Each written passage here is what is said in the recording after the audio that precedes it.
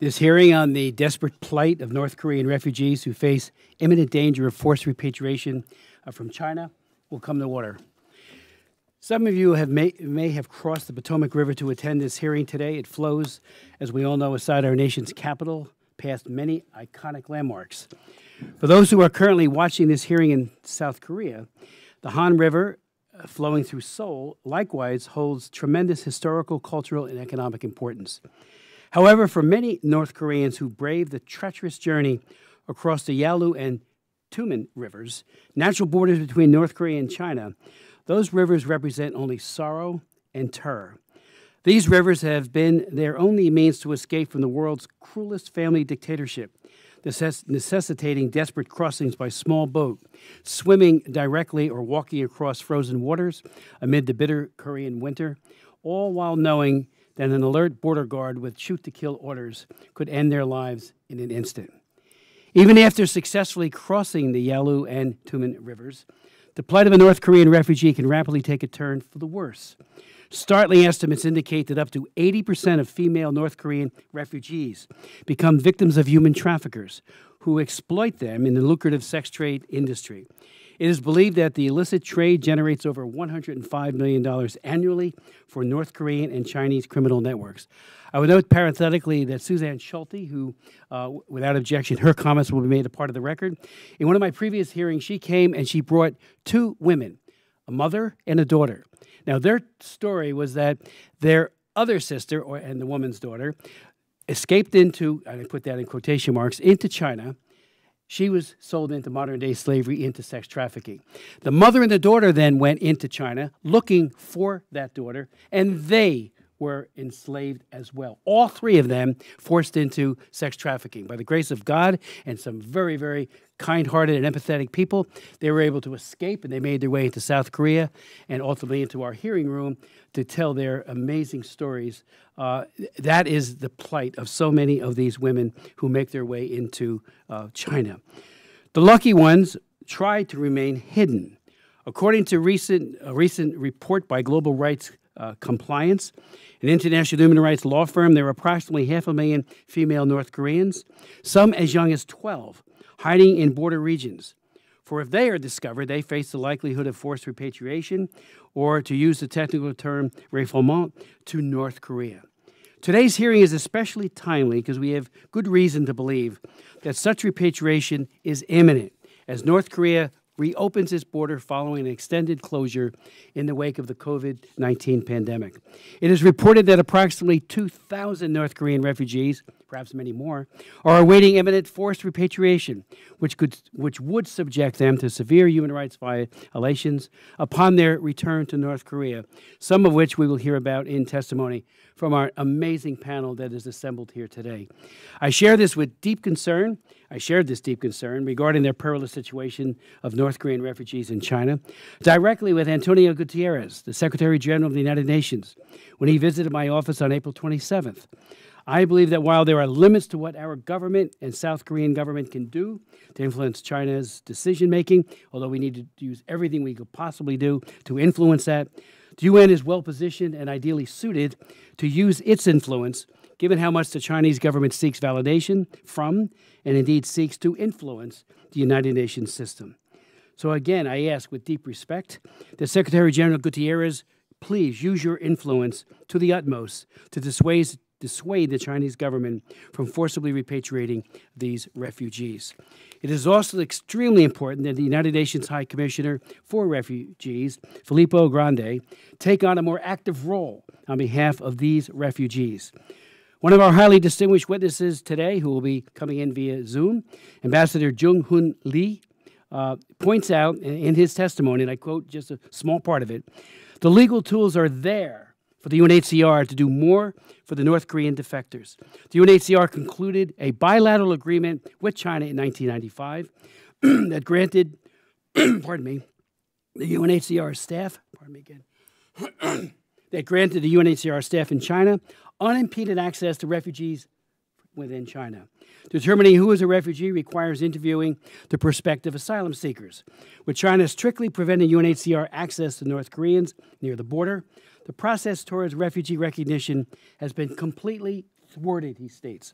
The forcible repatriation of North Koreans seeking refugee status in China is a blatant breach of China's obligations under the 1951 UN Convention related to the status of refugees and its 1967 protocol. Close quote.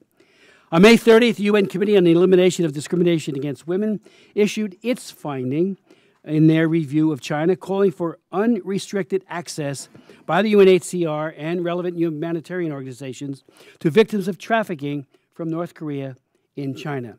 CEDAW has also recommended that China regularize the status of North Korean women who face human rights violations, such as, such as forced marriage and human trafficking, and refrain from cracking down on them due to their undocumented status. Against all of this moral pressure and legal pressure as well, there are malign incentives, both political and economic, for the People's Republic of China to repatriate refugees to North Korea. North Korea and its dictator Kim Jong un view those who flee the dictatorship as traitors, which gives China a political incentive to placate a communist ally, which remains a thorn in the side of the United States and all freedom loving peoples. Economically, a written submission for this hearing, which I asked to be entered into the record uh, and without objection, uh, from the Citizens Alliance for North Korean Human Rights a human rights NGO based in Seoul, sheds light on the disturbing economic incentives that China has in forcibly repatriating these refugees. According to their ongoing investigation, there is a high probability that a portion of products originating from North Korea but produced for Chinese companies have been made in prisons, detaining repatriated North Korean refugees from China using forced labor and other human rights violations. Close quote. This suggests that businesses in China are profiting from the exploitation of repatriated North Korean refugees, an issue that demands thorough investigation and accountability. There is, of course, a role that both South Korean government, our government, and indeed Congress and this commission can play. The CECC does report on the situation of North Korean refugees in China in its annual report, and this year will likely issue a standalone report on this issue. While today's hearing is an example of how we can bring attention to this impending humanitarian crisis, and disaster.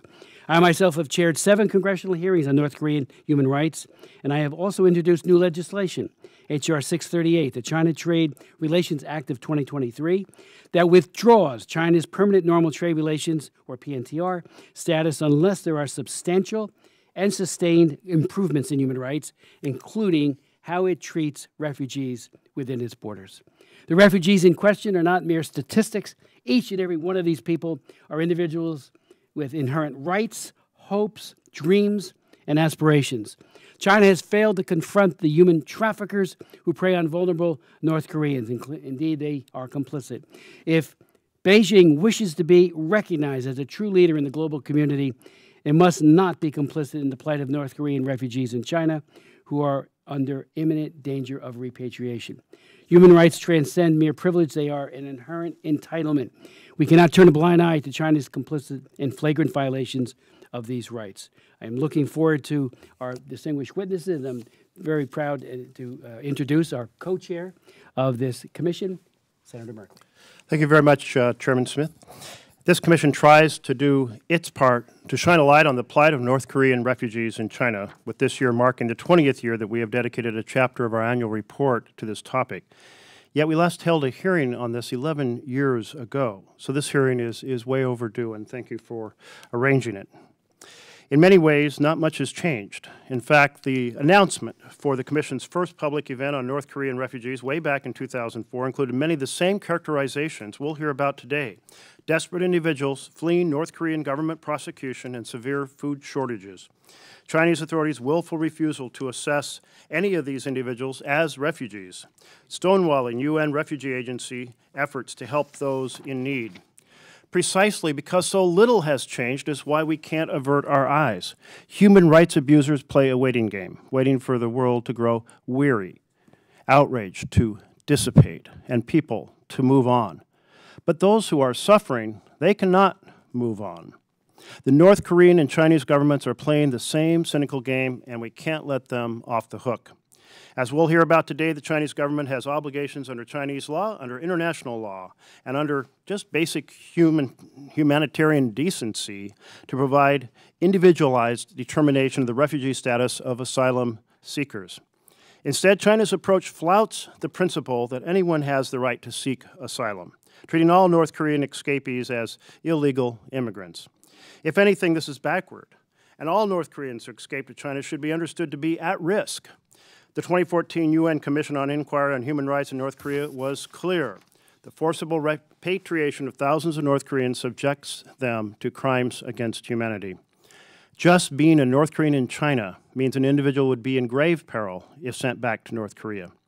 The UN Commission on Inquiry was equally clear about that. China's approach violates the international principle of non refoulement, which is supposed to guarantee that nobody will be repatriated to a country where they would face torture, cruel, inhuman, or degrading punishment, and other irreparable harm. Irreparable harm is what awaits the vulnerable North Koreans that Chinese authorities plan to send back to the Gulag. As much as has not changed on this topic over the last two decades, we're also here holding this hearing because of what has changed. COVID 19 changed much in our world, and the landscape of North Korean defection is no different. Border closures and tougher travel restrictions on both sides of North Korea's border with China made defection more difficult and more expensive. Now, the potential easing of North Korea's border closures raises the specter that China will again start reforce, forcibly repatriating North Koreans.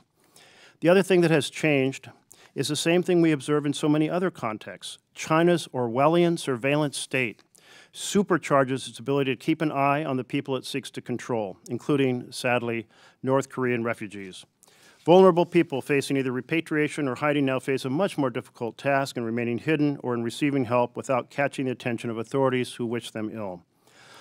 This all leaves a bleak situation for North Korean refugees in China, but those of us fighting for human rights should not shy away from the challenge and instead must redouble our efforts. I look forward to our witnesses' counsel on what we can do.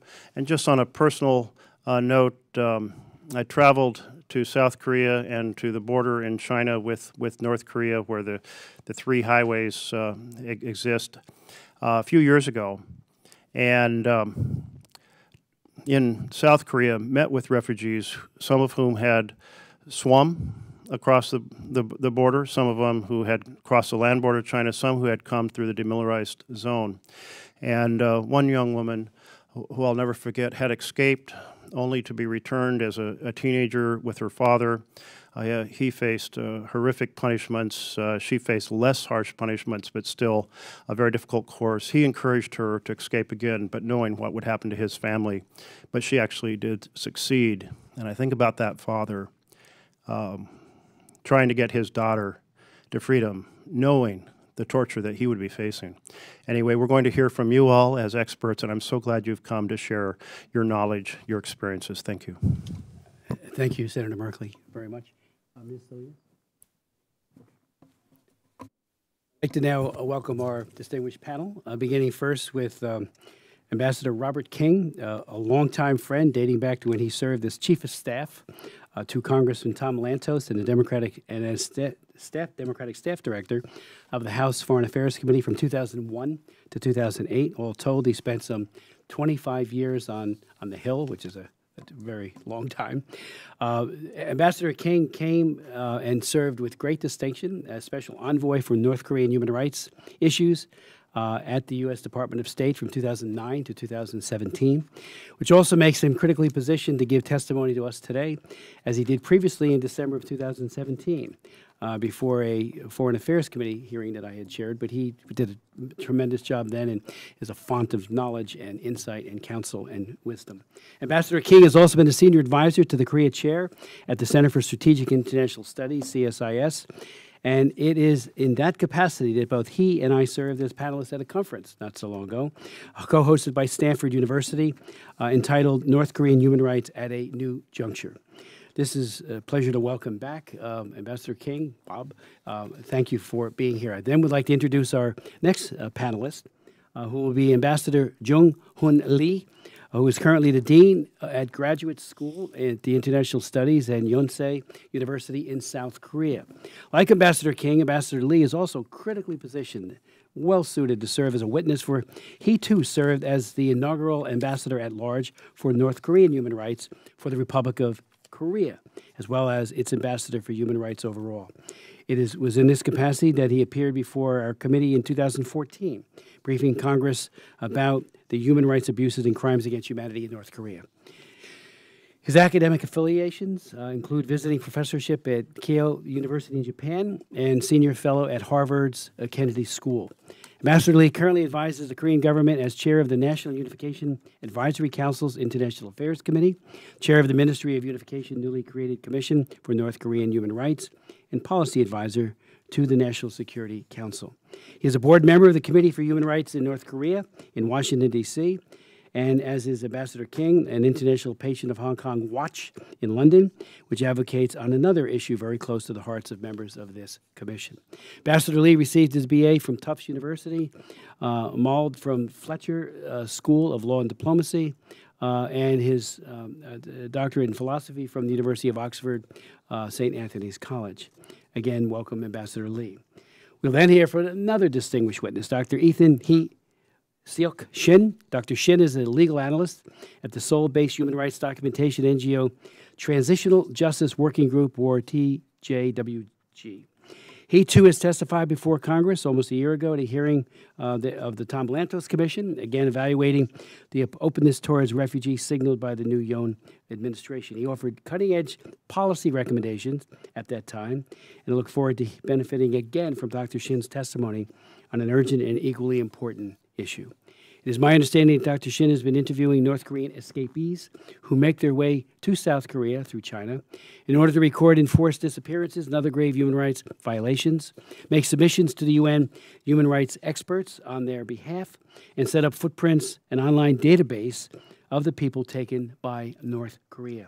He's an advocate for ending China's policy of indiscriminate refoulement uh, for the North Korean refugees without individualized determination that has helped raise the issue at the UN uh, Committee for the Elimination of Discrimination Against Women, or CEDAW, as I mentioned just a few moments ago. Dr. Shin holds a PhD in international law from Yonsei University in South Korea and an LLM from Harvard Law School. Welcome back, Dr. Shin.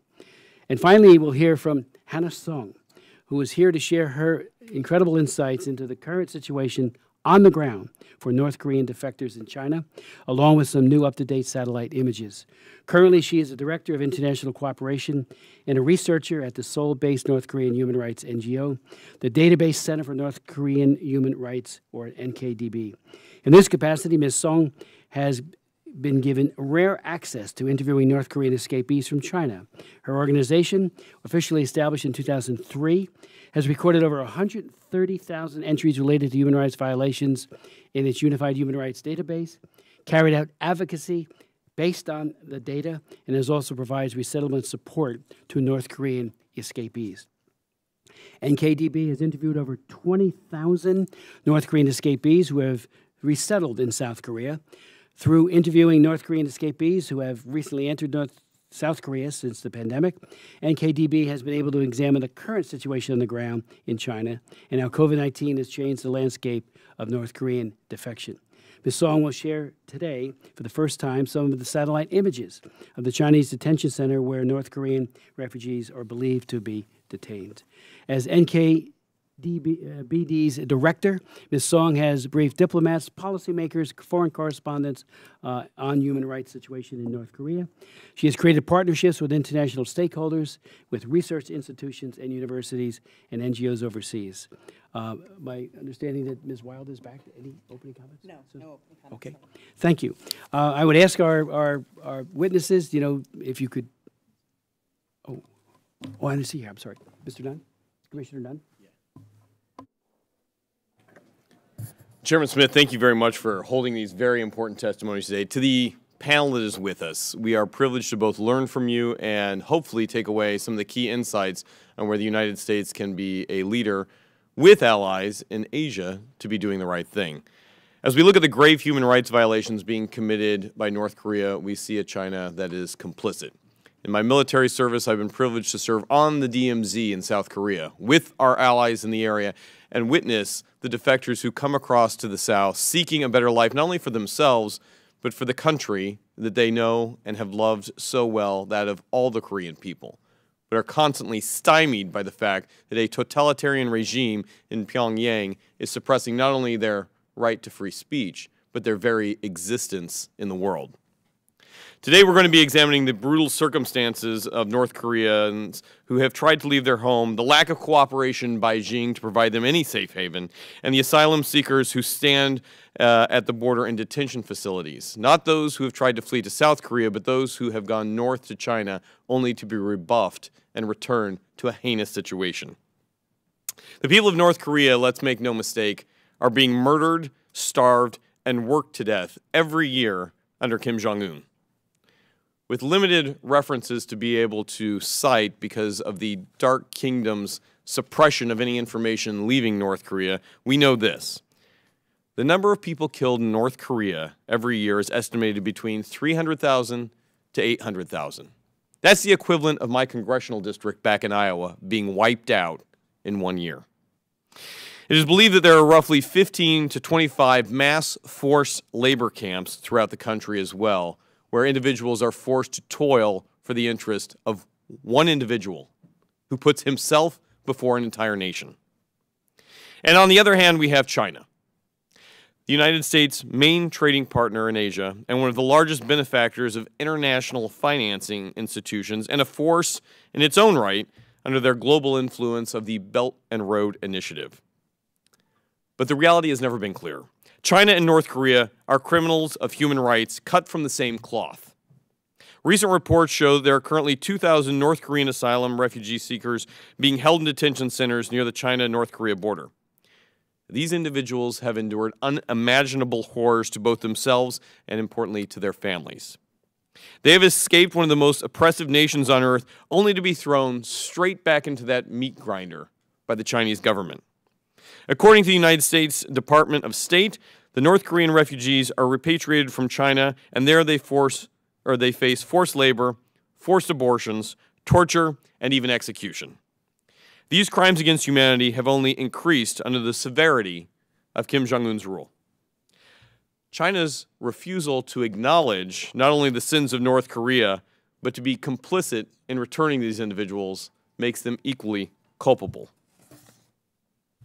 For the past two decades, this committee has examined China's blatant ignorance when it comes to international commitments to refugees, denied humanitarian organizations the ability to help those who are most in need, and falsified critical data relating to the scope and the severity of North Korea's refugee crisis, intentionally disinforming the rest of the world.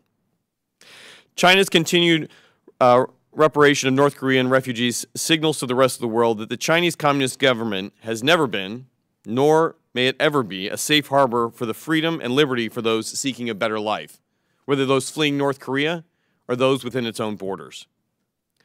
Here in the United States, we must not forget the liberties and freedoms we enjoy every day, particularly when in stark relief to what's going on in Asia. On this commission are men and women in uniform. All those working to spread democracy around the world are behind those struggling in places like North Korea and even those in China. So, Mr. Chair, I call on this bipartisan commission with the administration to continue to pursue tighter consequences for holding the CCP accountable for its inaction, and for Kim Jong un specifically in his role as a grave human rights violator wishing to live, and for the hope of all those wishing to live in a freer and more prosperous life. Further, I would specifically ask the Premier of China and Beijing to condemn Kim Jong un's regime. It is well over time that we hold these individuals accountable, to cooperate with asylum seekers and grant hope to those trapped in a land of darkness. Additionally, I call on our international institutions to decrease their tolerance for inclusion of nations that continually violate human rights and close loopholes that allow countries like China to exploit international financial institutions to fund the autocracies occurring across the globe while not holding themselves accountable to the same standards. And with that, Mr. Chairman, I would yield back my time but thank our speakers today for your frontline evidence being entered into testimony today. You are the front line and the safeguard of what we're doing going forward. Thank you, Mr. Chairman. Commissioner Nunn, thank you very much for your uh, comments and your the background you bring to this commission is extraordinary. I uh, would say to our witnesses uh, as I go to Ambassador King, normally there's a five-minute rule, but I would, you know, what you have to impart is so important. If you go up to ten, that would be fine. Uh, important thing is that you really have your say. We need to hear it. Uh, then we will go to questions. So, Ambassador King, the floor is yours. Thank you very much, Mr. Chairman, Mr. Co-Chairman. Uh, the Commission has played a very important role, role in terms of calling attention to the problems of China, the human rights violations, and I think it's very useful. Can you hear me now? Yeah, okay. Let me move a little closer. Uh, the Commission's played a very important role, and I'm grateful for the opportunity to talk about these uh, particular issues that we're dealing with with the North Koreans. Uh, the flow of Koreans back and forth between northeast China and the Korean Peninsula is something that's been going on for centuries. Uh, there are something like 25 million North Koreans, 50 million South Koreans. But There are also 2 million Koreans living just across the border in China. So there's a lot of economic and family relationships that continue to play a role in terms of movement back and forth. The issues of North Koreans going through China and to China has been something that uh, over time has changed during the Cultural Revolution when conditions were difficult in China, there were Chinese who were coming to North Korea, which with Soviet assistance was doing very well and economically. Uh, in the 1990s, when North Korea was fa facing fairly serious problems with the collapse of co communist support elsewhere, uh, there were significant numbers of North Koreans who went to China and were able to find jobs there as, as they were being employed. One of the things that I found very interesting was when I was in uh, China on the North Korean uh, Chinese border, Sinuiju, Dandong. Uh, there were a large number of North, uh, North Korean citizens who were employed in China who were returning to North Korea. We happened to walk into the train station and, and saunter around to see what was going on uh, the numbers were significant. These were young women who were working as seamstresses. They were living in North Korea, they were working in North Korea. I mean, they were living and working in China, but they were North Koreans. And this kind of uh, activity back and forth has been something that's been going on for some time. Uh, there are problems in terms of differences between uh, North Koreans who are going to China. Uh, in addition, there, there are North Koreans who find jobs in China through the North Korean government. Source of employment, source of uh, funding for the North Korean government, and they're able to do it. The North Korean government, of course, takes a healthy rake off uh, for providing the workers. Uh, there are a second group of North Koreans who work in China. These are North Koreans who go on their own, who illegally cross the border, who work illegally in China. Uh, but there are opportunities. There are lots of Korean speakers in the areas they go to, and they're able to find opportunity, find jobs, and support uh, themselves and their families. There's a third group of North Koreans who go into China, and those are North Koreans without approval of their government who are seeking to flee North Korea because of the human rights abuses and other violations.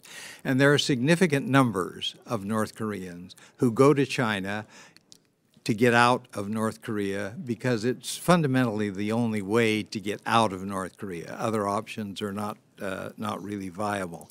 The result is the safest route is going through China there are some interesting changes that have taken place recently. The COVID pandemic has created great difficulty for North Koreans who are uh, attempting to leave North Korea. Uh, one of the things the North Korean government has done is done very little to deal with the problem of COVID, uh, rejected uh, offers of uh, vaccine, uh, but they've imposed very strict requirements limiting uh, public contact, limiting movement of people, and so forth. But the net effect has been that uh, the numbers of North Koreans who try to go out of the country are being stopped by border patrols who are trying to prevent North, uh, North Koreans returning because they might be infected with the COVID pandemic. Uh, the COVID virus has, has created real difficulties in terms of these numbers. There are large numbers of North Koreans over uh, the last couple of decades who have left North Korea and been able to find uh, homes elsewhere, primarily in South Korea, some in the United States, some in Europe. Uh, over the last uh, two decades, there are somewhere in the neighborhood of 34,000 North Koreans who have left North Korea, primarily through China, and been able to get out and go to South Korea. The uh, numbers have varied over time. The highest one-year total of escapees was uh, 2,700 in 2011. Uh, 2012 to 2016, there were 1,500 a year that were getting out. 2017 to 2019, 1,100 a year annually were successfully getting out. When the first COVID case was diagnosed in China in November 2019, the North Koreans shut the borders. The number of individuals who left during 2020 was 229 who were able to leave North Korea and find their way to South Korea. Uh, in 2022, that number was 67. So from a high of over 2,700, we're down now. 34 have escaped so far this year. Uh, these numbers uh, in addition to the numbers who've gone to South Korea, there are a few who've come to the United States, somewhere around 200 uh, over the last couple of decades. There are about 600 who've found uh, places in England, uh, United Kingdom. There are a few others that have found opportunities elsewhere. But the numbers are down. The North Korean government has created problems because it is so afraid of the spread of the COVID pandemic, they have stopped North Koreans from being returned. The Chinese have arrested North Koreans. The North Koreans will not accept them. And this has created problems, difficulties uh, for the North Koreans who are trying to deal with these problems. Uh, the, the difficulty with North Koreans uh, not being able to return to North Korea means people who want to return, who have families there and who want to return, are not able to be there. They're held by the Chinese. The Chinese hold them in camps uh, where they are basically prisoners uh, so they can repatriate them to North Korea. There are offers from South Korea and other countries to take North Korean refugees. Those are denied. The Chinese will not uh, release these individuals. They're going to return them to North Korea, and that's the only way they will do them. Uh, Chinese government officials uh, I met with Chinese government officials when I was special envoy on several occasions to raise concern about their treatment of North Koreans who are captured in China and see if there's some way of pressing the Chinese to take a more humane uh, approach to these issues. Uh, I was singularly unsuccessful. I met with North Korean officials at the United Nations in New York, at the uh, UN Human Rights Council in Geneva. I visited uh, China on a number of occasions, met with senior officials in the uh, uh, foreign ministry, with senior officials in the uh, party's international department. Uh, all of them said, these are North Koreans, the North Korean people want them back, we will return them we need to continue the effort to press the Chinese because these people are being denied their free choice of where they want to go, uh, and they're being held in inhumane conditions in North Korea.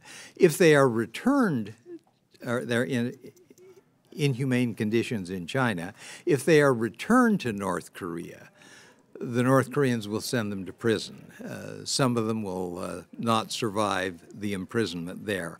We need to continue the effort to press the North, the North Koreans to allow these people not to be held, and we need to press the Chinese to release the North Koreans that they are holding and are not being returned to North Korea because the North Koreans are not willing to, to hold them. We need to continue to call attention to the problem because one of the ways of getting the Chinese to pay attention to the issue is to call attention to it, to create bad publicity for China and hope that it eventually moves them to do the right thing. Uh, I look forward to questions and uh, look forward to continuing the discussion on this serious problem. Thank you. Ambassador King, thank you so very much. Uh, I'd like to now yield uh, such time as he may consume to Ambassador Lee, who is joining us uh, up on the board there. Ambassador Lee. Good morning. Um, good morning and greetings from Korea. Um, I thank Chairman Chris Smith. It's great to see you again. And co-chair Jeff Merkley, uh, Representative Zachary Nunn, uh, ranking members of the Congress and the executive branch for giving me this opportunity to address you today. I'm greatly honored to provide a statement to this commission on the situation of North Korean refugees in China.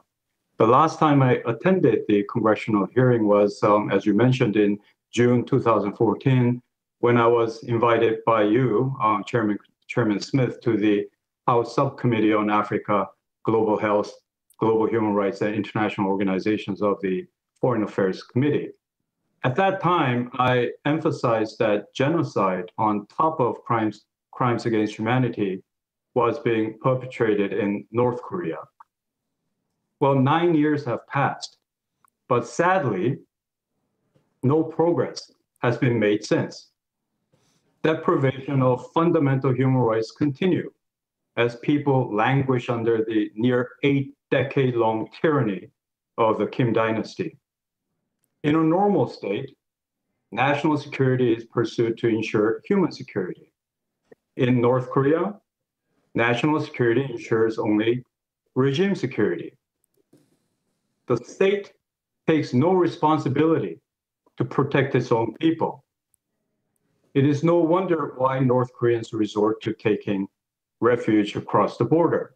They do so because there's no hope in a country ruled by political prisons, torture, hunger, and public execution, completely void of the fundamental right to adequate standard of living, not to mention life. So why no progress? I will point to five factors.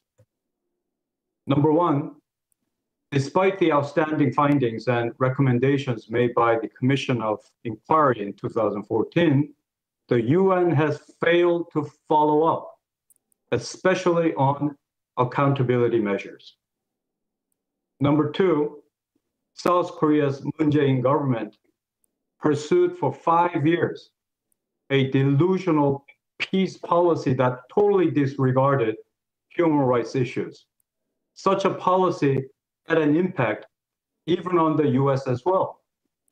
The Peace on the Korean Peninsula Act, HR 3446, is a case in point. It calls for peace, but completely ignores human rights. Number three, the media's fixation on Kim Jong un's nuclear ploy, as well as his public persona, which has had the effect of downplaying human rights. Number four, the previous Trump administration's ill-conceived attempt to woo Kim Jong-un, which helped to skirt human rights issues. And finally, and this was mentioned by Ambassador Bob King, COVID-19 and the complete closure of North Korea's border, which also contributed to the lack of progress because the country was completely shut down. The plight of the North Korean refugees in China stands out as one of the most troubling challenges to the UNHCR. We wouldn't have this conversation if Beijing adhered to its obligations under the 1951 UN Refugee Convention and its 1967 protocol, not to mention its 1995 special agreement with the UNHCR. I'll refer the Commission to my written text for details. What I like to do here is to make two suggestions for consideration. first suggestion is to apply pressure on the UNHCR's Beijing office to do justice to its mandate. Pursuant to its 1995 agreement with China, the UNHCR should have unimpeded access to North Korean asylum seekers in China. But as we all know, North Koreans in China are off limits to the UNHCR. The refugee agency should assert its right to binding arbitration. This really should be done now, since several thousand North Korean detainees are in danger of imminent repatriation. My second suggestion to the China Commission is to benchmark the international campaign that was launched against South Africa's apartheid system in the 1970s and the 80s. What did the UN General Assembly do to South Africa? In 1974, the Credentials Committee of the General Assembly denied South Africa of its credentials and suspended all its activities in the United Nations. I'd say it's time to re-examine the UN credentials of North Korea too. If South Korea, uh, I'm sorry, if South, Af South Africa was bad enough to, to be suspended from all UN activities for 20 years, shouldn't the UN General Assembly consider doing the same to North Korea until the non-proliferation and human rights goals are met? I would think yes, but what has the UN done instead? It recently elected North Korea to the executive board of the WHO. And in June last year, the UN permitted North Korea to assume presidency of the disarmament conference. This is absolutely laughable. If we don't take real actions today, I assure you I could be invited back to a congressional hearing in 2033, and we will be echoing the same old rhetoric. That's 10 more years of human suffering in North Korea. I'd like to conclude by commending the China Commission again for holding today's hearing. Your attention represents a beacon of hope for those North Koreans in China desperately yearning for freedom. And I thank you so much for that. Thank you. Ambassador Lee, thank you so very much for your statement and your recommendations. Uh, I'd like to now to yield to Dr. Shin. Congressman, Congressman Smith, uh, Senator Merkley, and esteemed members of the Congressional uh, Executive Commission on China, thank you for inviting me to speak at today's hearing. 11 years ago, uh, as the members have mentioned, this commission held a hearing on China's repatriation of North Korean refugees. It is with a very heavy heart that I note the continuation of China's policy, unconscionable policy uh, towards North Korean refugees today. Last month, the UN Committee on the Elimination of Discrimination Against Women, uh, CEDAW, expressed its concern that China is a country of destination for trafficking in women and girls from North Korea for purposes of sexual exploitation, forced marriage, and concubinage. That North Korean women and girls, defectors, are categorically uh, classified as illegal migrants, and some are forcibly returned. The CEDAW Committee recommended China to protect North Korean victims of trafficking to give the UN High Commissioner for Refugees, UNHCR, full and un unimpeded access, and to allow their children to leave China with their mothers. Beijing's long-standing policy of repatriation of North Korean refugees has resulted in their suffering of crimes against humanity in North Korea, as documented by the UN Commission of Inquiry in 2014. It is difficult to obtain accurate information about North Korean SKPs in China because of uh, Pyongyang and Beijing's deliberate policy of information blackout. While it is not impossible to pierce this fog of totalitarianism, various measures accelerated and justified during the COVID pandemic is making it ever more difficult to contact or assist North Korean refugees. North Korea diverted its scarce resources not only for WMD development, but also for building a security wall along the, the Chinese border, uh, which is not unlike the Berlin Wall, uh, to permanently imprison its own population. Uh, one might call it a Juche wall. On the Chinese side, the proliferation of CCTVs, coupled with AI-based facial recognition and monitor- surveillance of WeChat uh, devices, uh, first tested in Xinjiang and then expanded, expand, expanded to China proper, has made the North Korean refugees' internal movement uh, difficult. The cost of moving within China has skyrocketed as a result, and even alternative escape routes to Mongolia have resulted in many arrests uh, in Inner Mongolia. Since the early 2000s, Beijing's official position has been to handle North Koreans in accordance with its domestic law, international law, and humanitarian principles. However, China's policy, fails to meet any of these three purported criteria. Article 32 of the PRC Constitution provides that the people PRC may grant asylum to foreigners who request it on political grounds.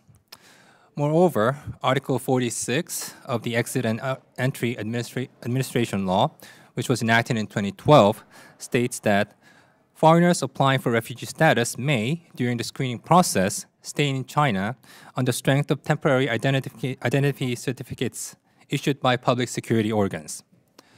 However, China has failed to institute a screening process for North Korean asylum seekers uh, and to provide them with temporary identity certificates. China has similarly failed to extend national legal protection to ethnic refugees from uh, Myanmar. If China cannot respect its own national law, one might ask, how can it expect it to be respected by the rest of the international community? China ratified the Refugee Convention in 19, 1982, uh, as you know, in response to the influx of Han Chinese and other ethnic minorities uh, refugees from Vietnam and Laos, and has even allowed UNHCR to access asylum seekers from Pakistan, Iraq, Somalia, and Eritrea.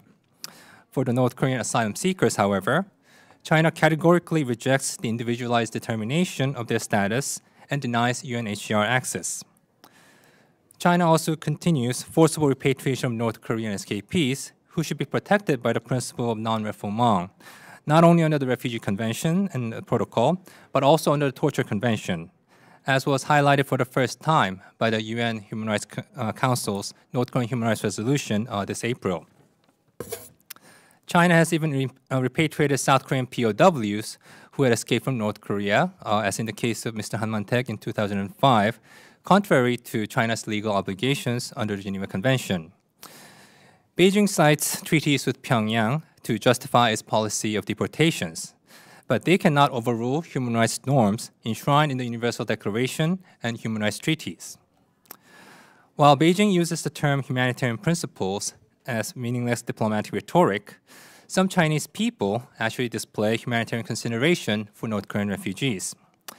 One, one North Korean escapee recounted that public security agents who apprehended her released her because they determined that their job was bringing criminals to justice, not arresting and deporting innocent women whose only crime was fleeing North Korea.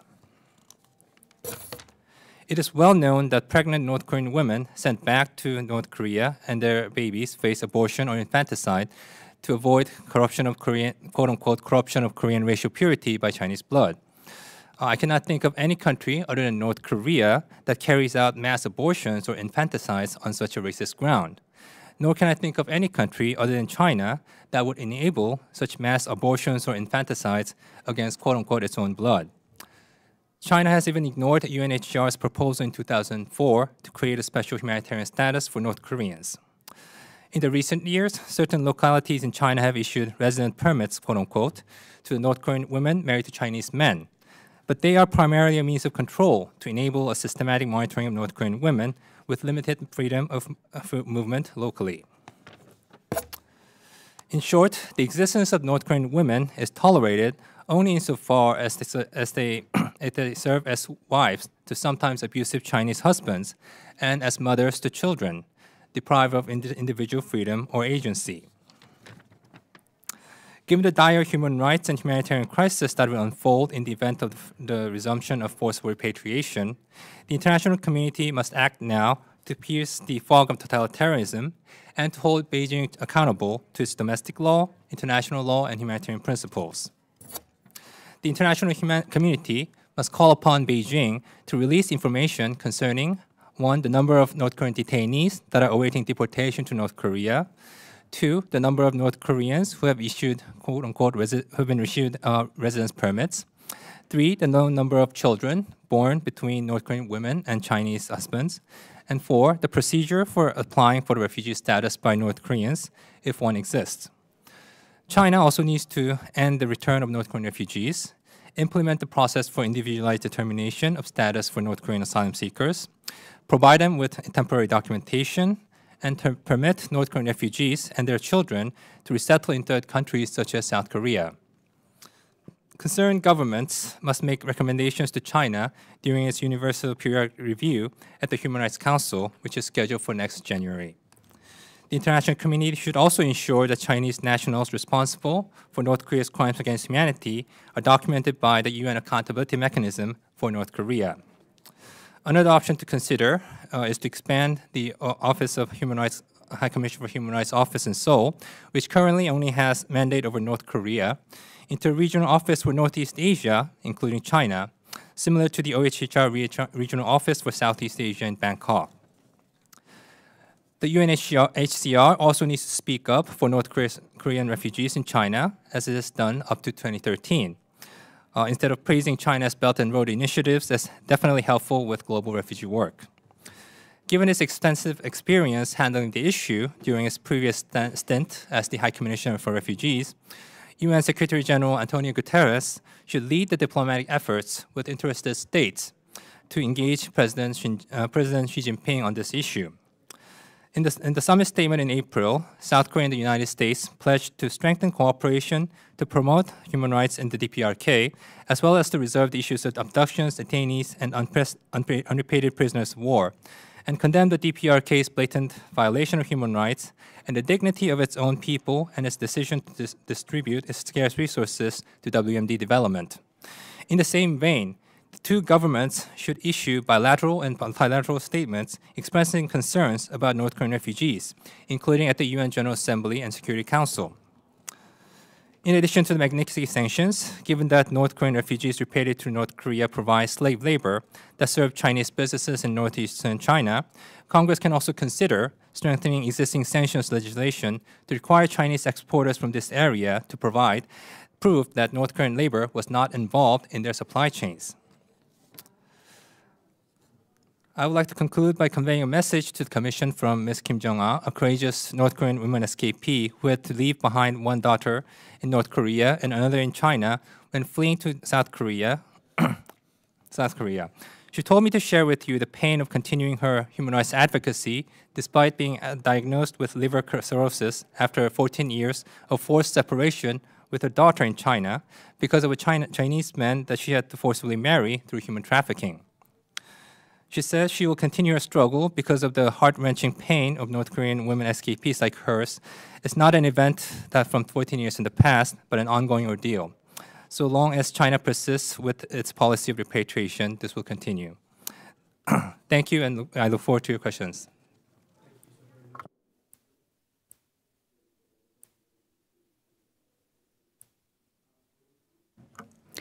Mr. Chair, Mr. Co-Chair, esteemed members of the Commission, thank you for holding this session today regarding the urgent and critical situation faced by North Korean refugees in China. Today, on behalf of those who cannot be here physically today, I hope to shed light and be a voice for the thousands of silenced North Koreans who have, thought, who have sought refuge in China only to face unimaginable hardships and persecution. I want to begin by sharing the story of Miss Kim, who my organization met just a few weeks ago, who entered South Korea in early 2023. She was trafficked into China at the young age of 18 after simply wandering into a train station in Cheongjin, North Korea, looking for her mother who had gone missing. After entering a forced marriage to a man decades older than herself, for over 10 years she lived in constant hiding, evading authorities and struggling for survival. Tragically, an accident exposed her lack of identification, leading to a capture by the Chinese Public Security Bureau and subsequent repatriation to North Korea. In North Korea, she endured unspeakable torture and punishment, and she was sentenced to five years in prison for being labeled a traitor to the state. Upon her release in 2019 in North Korea, she bravely crossed the border again, this time determined to reach South Korea. However, her plans were thwarted by the onset of what we know as COVID-19 pandemic, leaving her trapped in China for four long years under increasing surveillance and constant fear of recapture, knowing very well what would happen if she were to return to North Korea a second time. In 2023, she finally found a broker who warned her of impeding repatriations. Desperate to avoid her previous fate, she took a leap of faith, paying a steep price to secure her passage to South Korea. Miss Kim's journey embodies the resilience and courage of those who strive for freedom against all odds. However, sadly, her new beginning in South Korea is not the reality for the th thousands of North Koreans who are currently detained in the detention facilities in China. Time is of the essence, and we must act swiftly. In China, we believe there are over 10,000 North Koreans who are residing secretly without legal status or protection. They are refugees by the clear definition of the 1951 Refugee Convention. Their stories are filled with unimaginable suffering, and their quest for freedom is both courageous and urgent. However, the fate that awaits them upon forced repatriation to North Korea is beyond comprehension. As was described by my fellow witnesses, Arbitrary detention, torture, forced labor, and even execution are the grim realities that these North Koreans face. And the fear they carry is not unfounded. It is supported by documented evidence and countless testimonies of those who have escaped the clutches of the oppressive North Korean regime. Shockingly, the Chinese government still determines and labels these as illegal economic migrants and forcibly repatriates them under bilateral border protocol signed with North Korea. Our database at NKDB records, has recorded over 8,125 cases of forced repatriation and over 32,000 cases of other human rights violations, such as torture, sexual violence, and executions associated with those who have been forcibly repatriated. And unfortunately, the plight of the North Korean refugees is further exacerbated by the threat posed by China's surveillance technology. China's increased use of advanced surveillance tools such as facial recognition and biometric systems has become a repressive weapon targeting the most vulnerable, an issue that this very commission has raised in the past. And we cannot forget that this includes North Korean refugees as well. These technologies enable monitoring and trafficking of individuals in China, leaving no room for anonymity anonymity and invisibility, making it increasingly difficult for escapees to avoid repatriation. The living conditions of North Korean escapees in China during the implementation of China's zero, zero COVID policy has been dire. As Ambassador Robert King mentioned, before the COVID 19 pandemic, there were around 1,000 to 2,000 North Korean escapees who would reach South Korea every year. However, the combination of China's surveillance technology and North Korea's extreme border measures, including shoot on sight orders and the expanded fences, has caused a drastic decline. As was already mentioned, only 67 individuals successfully reached South Korea last year. Video cameras, facial recognition software have played a significant role in suppressing these numbers, making escape an almost insurmountable challenge for North Koreans. NKDB has recently spoken to, North, to uh, many who have revealed the distressing reality. Broker fears have skyrocket, skyrocketed. In the past, in the early 2000s to 2010s, broker fees were about 1,500 US dollars. Just before the COVID-19 pandemic, $15,000 per person to bring a person to freedom. Now, as of early 2023, close to $40,000 need to be paid for broker, to brokers to allow safe passage. However, over the past three years, broker fees have not only skyrocketed, but many brokers are scared to put themselves at risk.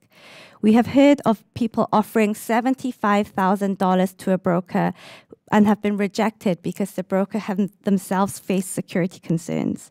Even brokers face significant obstacles in supporting defections from North Korea through China, as China has embraced electronic payment systems tied to identification, making cash transactions nearly impossible. The proliferation of facial recognition technology, QR codes, and China's many surveillance efforts has severely restricted the movements of North Koreans. The decline in defections is not due to a diminished desire among North Koreans to escape this repressive regime. Rather, it reflects the mounting difficulties imposed by China's pervasive surveillance measures. Regrettably, this situation has allowed China to achieve its objective of effectively curbing successful defections, further cementing its control. As COVID 19 restrictions ease, we have witnessed North Koreans in China attempting to defect to South Korea once again, seeking that freedom. Tragically, these attempts over the past few months have resulted in increased arrests.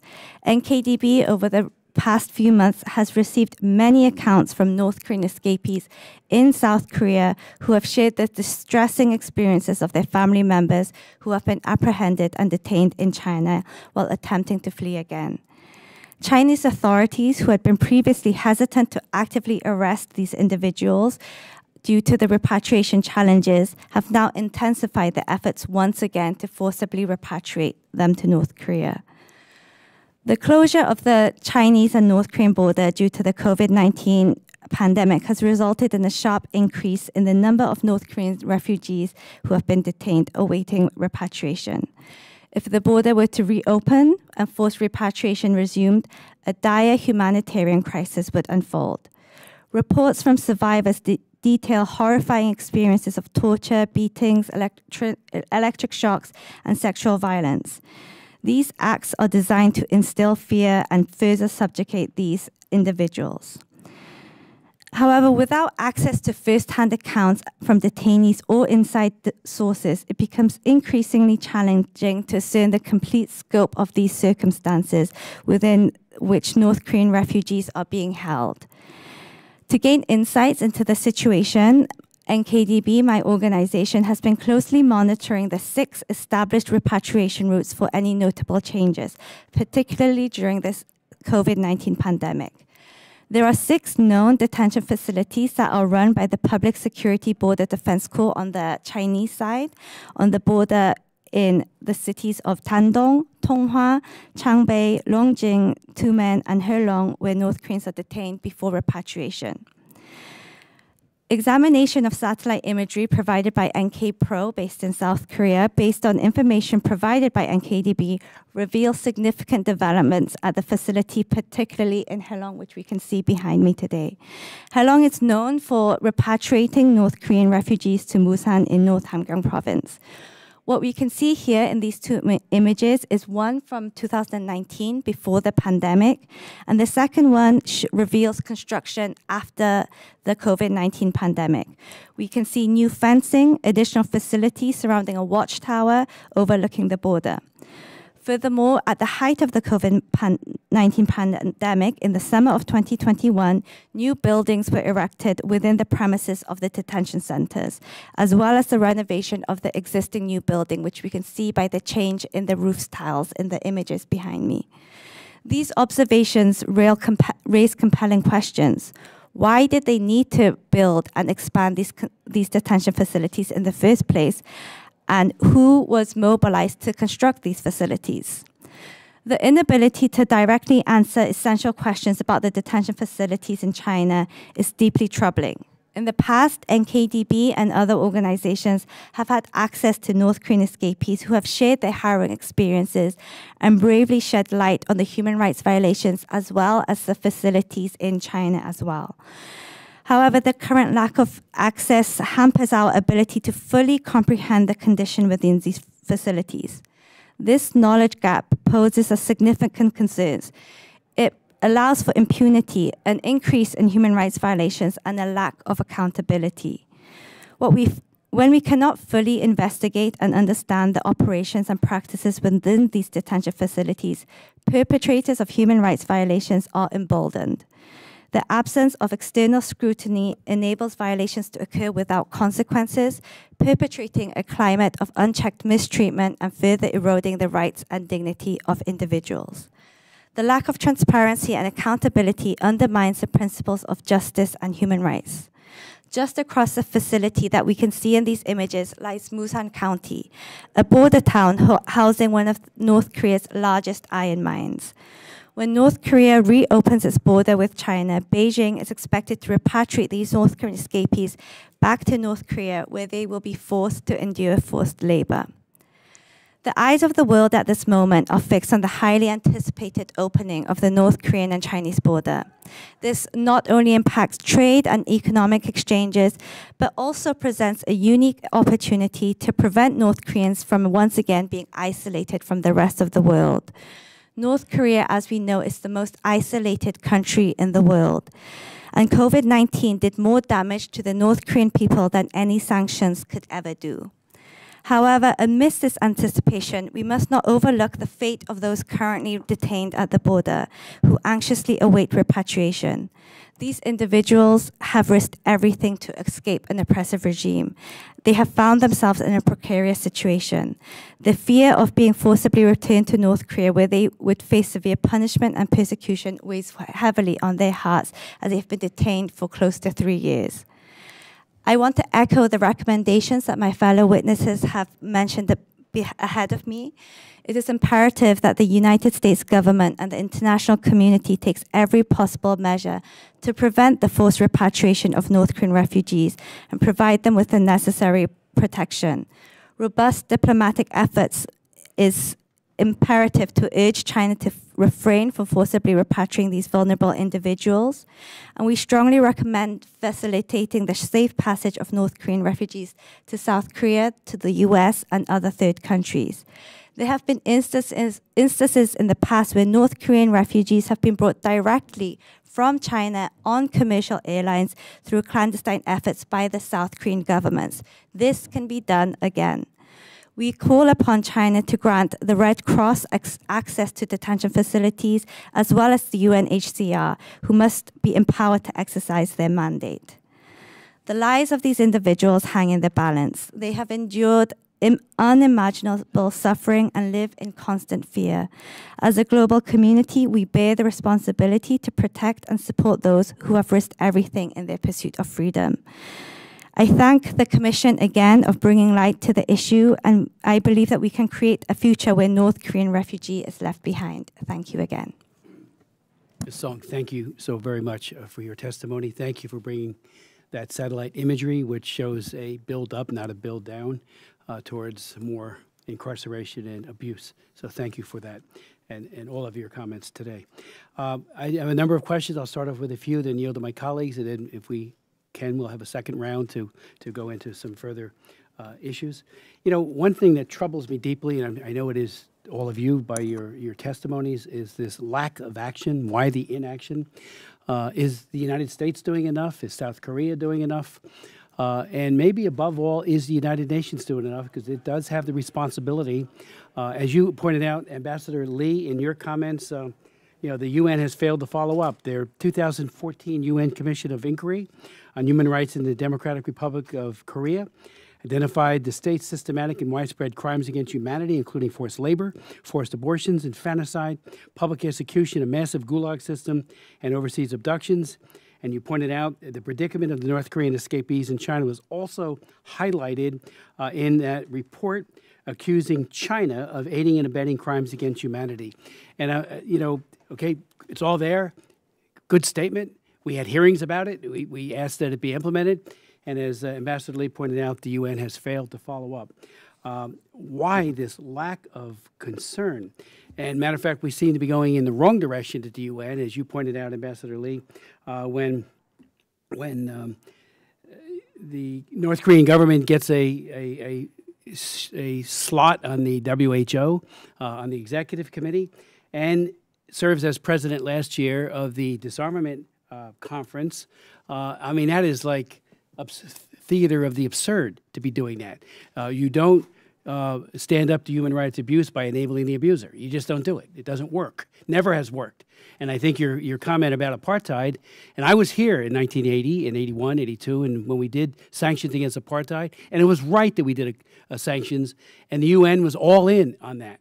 Uh, so I think your your thoughts, um, Ambassador Lee, about the UN credentials uh, is, I think, a very significant recommendation, and hopefully we can follow up on it. But your point about the uh, Beijing office of UNHCR not doing enough, uh, but it does start at the top, and I would hope that in Geneva and New York uh, there would be a a pivot towards really this is an opportunity. This is all imminent. Going to happen any day now, any week now, uh, and this crisis could be averted uh, if the UN, I think, would be very robust. So why why aren't we doing enough? Let me just say parenthetically too that in the past uh, there was criticisms leveled by Andrew Natsios. You remember in 2014, uh, he used to be the head of USAID and also uh, ran a a, um, a, human rights organization dedicated to uh, Korea, North Korea. Uh, and he made the point why did we separate human rights from the nuclear talks? You know, when they failed and, and burnt out, yes, Ambassador King did yeoman's work, but he's one man. It should have been a whole of government approach to every time we talk uh, to the North Koreans, human rights is there uh, at the table as well, uh, so that hopefully we get some amelioration of these abuses. So, um, again, this. as you said, just bottom line, uh, and without objection, by the way, all of your full statements. I know, Dr. Shin, you had 16 pages of single spaced. Uh, all of you have spent a great deal of time putting together very, very good and excellent testimony. Will be made a part of the record. Uh, you point out uh, um, the legal tools are there for the UNHCR to do more for the North Korean defectors. Why aren't they doing it? And why aren't we doing more? Ambassador King? Uh, we can always do more, and we should be doing more. Uh, one of the problems the United Nations encounters is there are a lot of countries who have similar problems. One of the reasons why it was much easier to uh, make progress on South Africa was there are a number of African countries who had recently become members of the United Nations who were concerned about what was happening in South Africa. Unfortunately, we don't have that same numerical advantage in terms of dealing with North Korea. One of the things that I think we need to be careful of is uh, this isn't going to be a quick thing. It's going to take time. Uh, we have made progress. Uh, we've created, there's a special rapporteur uh, that the United Nations established, reports to the UN Human Rights Council, reports to the General Assembly, once a year to both bodies, issues are raised the North Koreans are called on the carpet. Uh, we're not moving troops to North Korea to solve the problem, but we are putting pressure on North Korea. And the thing that we need to keep in mind is that we've got to keep the pressure consistent. We've got to keep it up. We've got to continue. Uh, it isn't going to happen overnight but it does make progress eventually. Uh, the North Koreans, who uh, have been uh, uh, reluctant to uh, allow any UN officials to come to North Korea, actually allowed the special uh, rapporteur on persons for disabilities to come to North Korea to see what they've done. And the North Koreans on the disability area have made progress. They haven't made the progress that they ought to make on human rights, but we can't give up. We've got to keep pushing. And I think the important thing here is that we've got to continue, keep it up, continue to press, and continue to do. And uh, eventually, I'm hopeful that we'll be able to find some progress. Ambassador Lee? Yeah, um, I mean, it's um, such an important question that you raise, um, Chairman Smith. The problem with North Korea is that um, the world is not doing enough because the world does not know enough about what is going on uh, in that country. Um, when it comes to, for example, famine in Africa or refugee crisis in the Middle East, we have vivid visual pictures like documentaries, photos. Uh, journalists are allowed to go in. So we have pictures of, um, you know, little babies um, with uh, um, was their bellies um, um, bloated from from hunger, um, dying in the you know in the arms of, of of their mother. So we have these pictures, but we don't have any of that when it comes to North Korea because North Korea is the most closed off cocooned society in the world, period.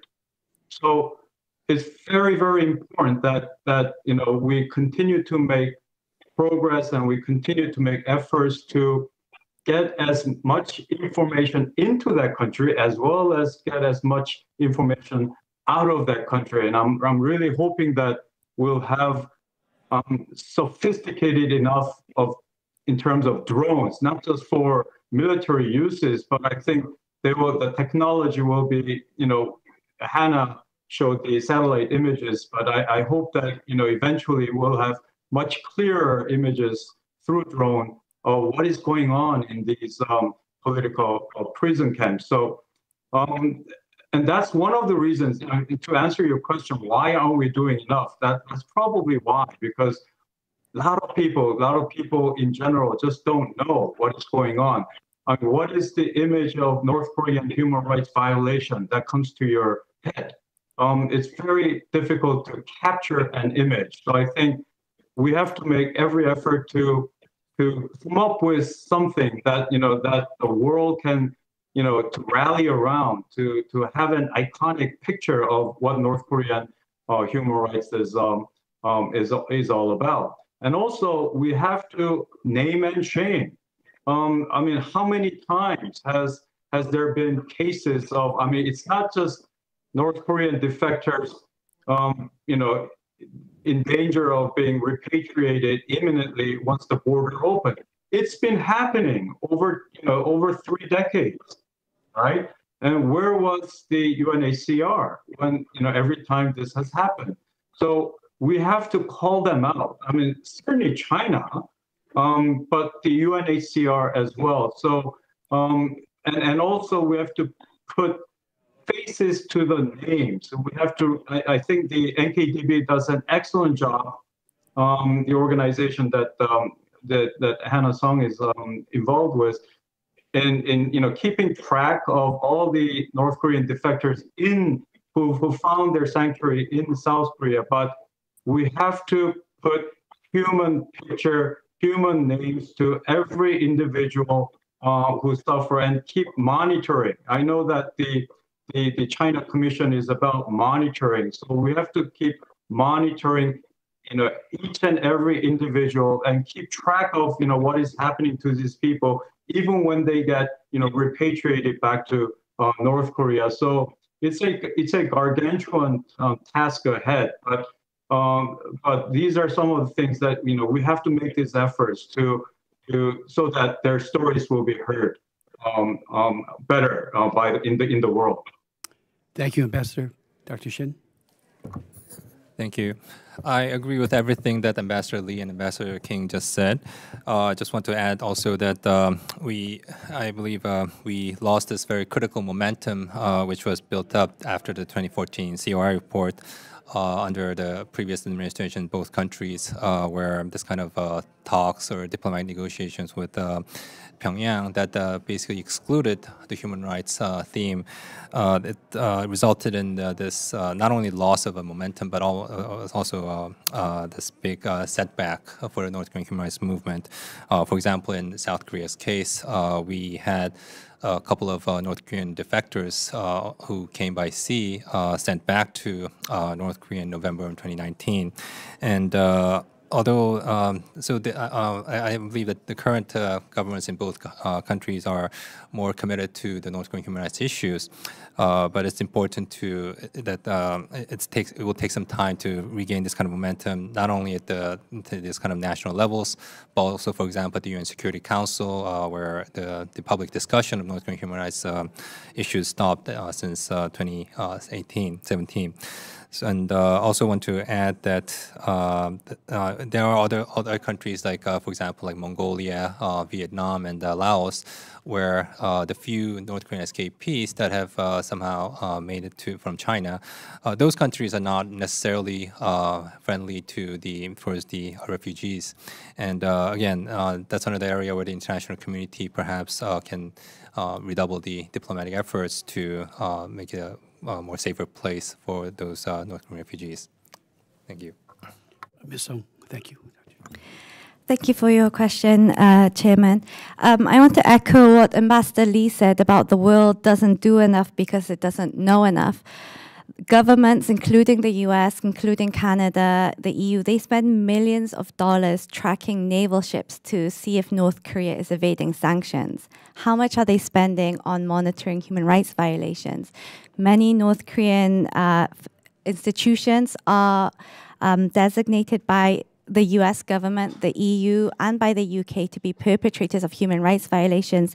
But are we doing enough in terms of how we are monitoring North Korea's sanctions for weapon development as we are for their violations of human rights? I think that is where we can start. That is something we can begin to do even today. And Secondly, in terms of why is the UNHCR not doing more, I think many think that just because of China and North Korea's unique diplomatic ties, it's easy to um, not expect China to do more. However, what we can see in Russia is an interesting example. Russia, as we all know at the moment, as we're all following, is responsible for some of the most serious war crimes and human rights violations this very modern day. However, Russia allows UNHCR to have access to North Korean refugees who are in the country. There are many overseas laborers in Russia who have been dispatched by the North Korean government to make a profit for their own regime, and many choose to escape. Many will leave their logging sites, their construction sites, and seek refuge. And they seek refuge via the UNHCR. They, as we um, mentioned earlier, about 67 escapees came to South Korea last year. The majority of these people were overseas laborers. The majority of them did not come directly from North Korea or from China, but they actually came from Russia, the Middle East, and African states where they had been working as forced uh, laborers and they had access to UN agencies. The UN is doing more in other countries. We cannot let them just use the excuse that China is a difficult country to work with. Russia is a difficult country to work with, yet they are doing more there. So that is an example that we can take, and I hope this commission can push forward on that as well. Co-Chair Merkley. Uh, thank you. And I wanted to start with recognizing that our testimony has established that over uh, several decades, we've had the same basic conditions. And Ambassador King, you noted your efforts as a special envoy and how difficult it was to make progress. In uh, 2017, Senator Markey and I uh, went to South Korea. We met with uh, refugees, and we asked the question, why is China so resistant uh, to facilitating the passage of refugees who come from North Korea onto South Korea or to other nations in the region? Uh, the answer we received was this that China is absolutely committed to maintaining North Korea as a buffer against the West. And they fear that if they have a humane refugee policy or refugee policy that follows international law, that basically North Korea will collapse because the whole elite world in North Korea wants to get out of North Korea, wants their children to get out of North Korea. Is this the right explanation why China has been so resistant uh, to uh, honoring Geneva Convention, honoring its own law? And if in fact that is an accurate assessment, how does that affect our strategy in terms of gaining ground uh, on the issues we're talking about today? Ambassador King. Uh, thank you very much for your question and for your comments and for your interest and concern on this issue. Uh, I think that the Chinese definitely want to have a buffer. They're much more comfortable having North Korea immediately on their border than having a, a democratic, open society like South Korea. Uh, but I think there are other things as well. I think the Chinese are concerned about their own internal situation. Uh, that again is a regime that is very repressive. Uh, North Korea is worse, and it's hard to find one worse than China, but North Korea is. And simply allowing the kinds of things that we seek in terms of allowing North Koreans to leave, to freely go, to be able to make decisions on, on their own fate, uh, is something they don't want to allow in their own country. So it's, it's yes, they want a buffer, but also they are concerned about the possibility of the example, The example. that that might show. So it makes it even harder. Another uh, uh, example. So uh, this brings me, Ambassador Lee, uh, to your commentary about the power of UNHCR and um, and the value or the potential with binding arbitration. I had not heard before today's testimony uh, about this this UNHCR power. What prevents? How do how do we? How powerful is this? Uh, do we have a, a strategy in which we could uh, really drive the UNHCR, uh, given the, the difficulty of persuading China otherwise to uh, honor the Geneva Convention? Ambassador Lee, are you still with us? Yes, yes. Um, thank you. Um, thank you for your question. I'm not. I'm not so sure if we can um, consider what's available for the UNHCR as a powerful tool. What I was saying is that in the case that the UNHCR is prevented from doing its job uh, in China, that it can resort to this binding arbitration, which which means that you know if there's a conflict of interest between the Chinese government and the UNHCR in the work that the UNHCR is doing in China, uh, within 45 days, that it can call for a you know an arbitration. And and an arbitrator that can be agreed upon by both sides will come in and and and try to resolve the issue. But as far as I know, I, I, I don't think I'm wrong. Um, that's never been the case. And you know why is then UNHCR um, not being much more proactive or much more aggressive in dealing with this issue? It's probably because the the refugee agency is you know is concerned that you know if it really try to take on the North Korean refugee issue, that China China might just kick them out, and that is not you know completely out of the question, knowing what China does to any organizations or businesses that you know that that do things counter to the national interest of, of China. Um, now that might not work out, but you know I'm I'm just very disappointed that you know it's not actually using all its um, you know the, the contractual legal tools uh, on hand to deal with China um, simply because China doesn't want it um, to to uh, to do so.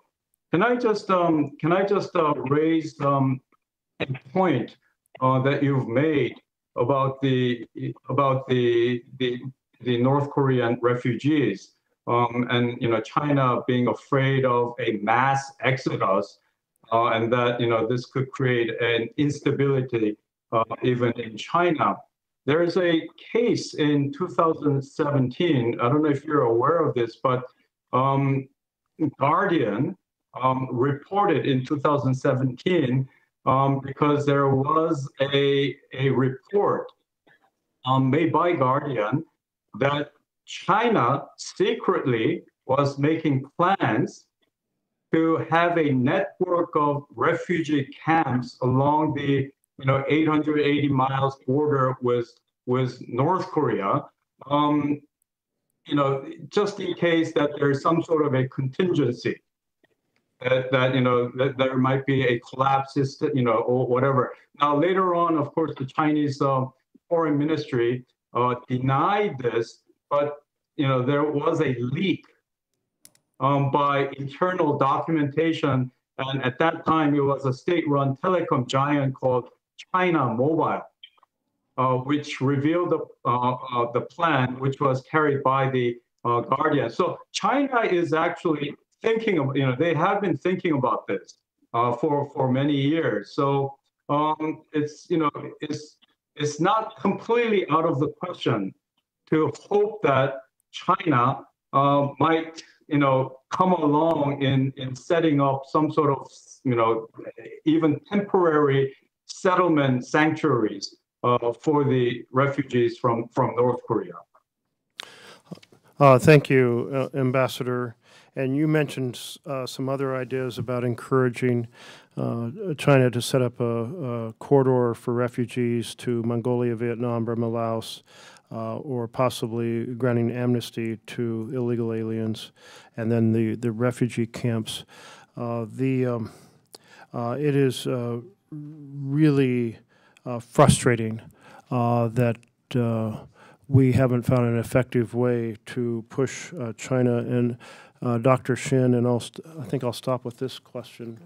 Uh, the um, you, the in terms of the the Chinese government's own law to set up a screening process for those who assert their desire for asylum, that's required, as I understand it, by Chinese law. It's required by the Refugee Convention. What is the as you think about the different tools we have and how how little effect we've had so far? And I'll extend this question to both you and, and uh, Ms. Song. What is, this, what is the most effective way we can apply pressure? Uh, thank you for the question, Senator. So it's obviously not easy to persuade the Chinese government on this issue uh, because of the uh, very they view this uh, from a very geopolitical issue point of view that uh, if they change have this kind of change of policy, uh, it could lead to the not only the uh, the collapse of the North Korean state but also their own regime as well. But uh, I think China, at least, is more amenable to this kind of international discourse and pressure than uh, North Korea is, and which is why we should uh, utilize all available UN uh, and also diplomatic uh, mechanisms. And uh, I would say that um, with respect to the this kind of implementing the the the refugee processing procedure, I think it's important to basically tell China also that uh, their, I guess, take on this issue is somewhat driven by paranoia as well, in the sense that uh, there of uh, there is this uh, there is historical precedent back in 1989 when uh, that this was the, uh, when the collapse of East East Germany basically happened when uh, Hungary, the which was ruled by a reform, communist but reformist government at the time, opened its borders with uh, Austria and allowed hundreds of thousands of East Germans to exit to West Germany through this corridor. And uh, that's the kind of fear I understand that uh, China has, uh, which might have made sense in the more made more sense in the 1990s.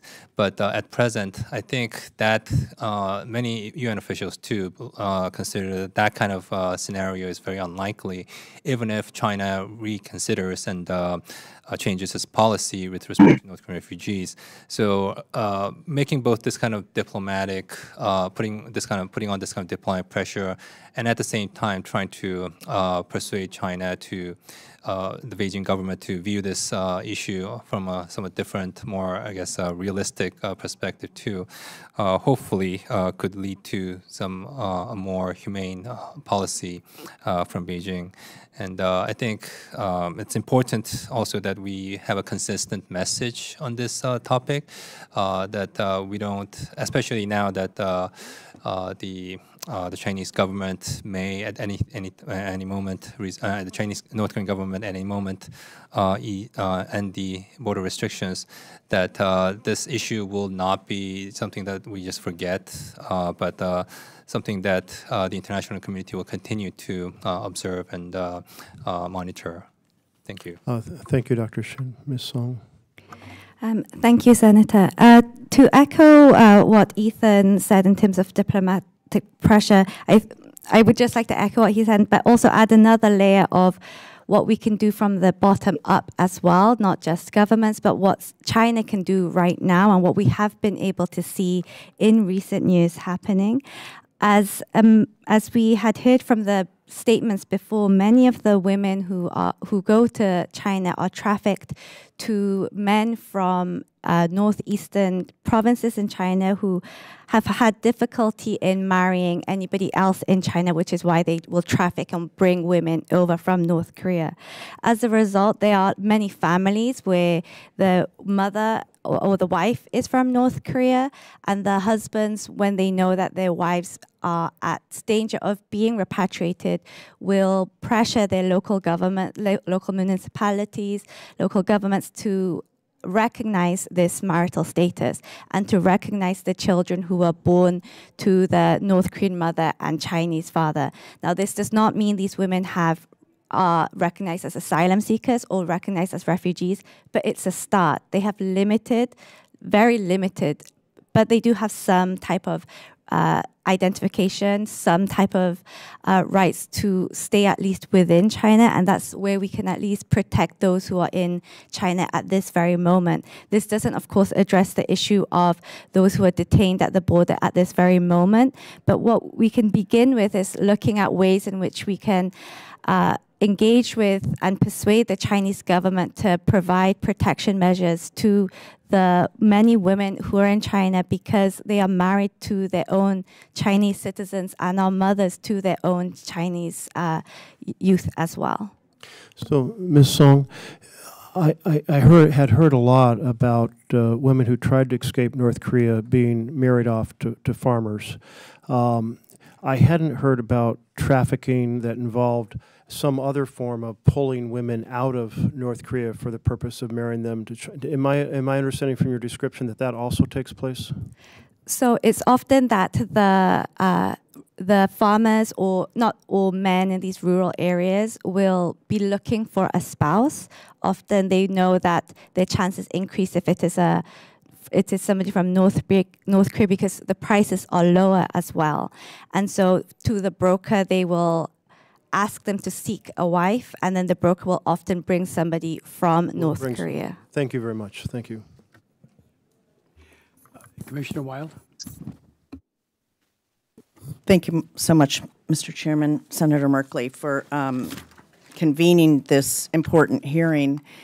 Um, the, the testimony has made it clear that this is a tragic and enormous problem, um, which doesn't in any way suggest that uh, the U.S. and international organizations shouldn't be tackling it, but it certainly is um, a very difficult one to tackle. And I appreciate the the very um, succinct and, and specific recommendations that we've heard today.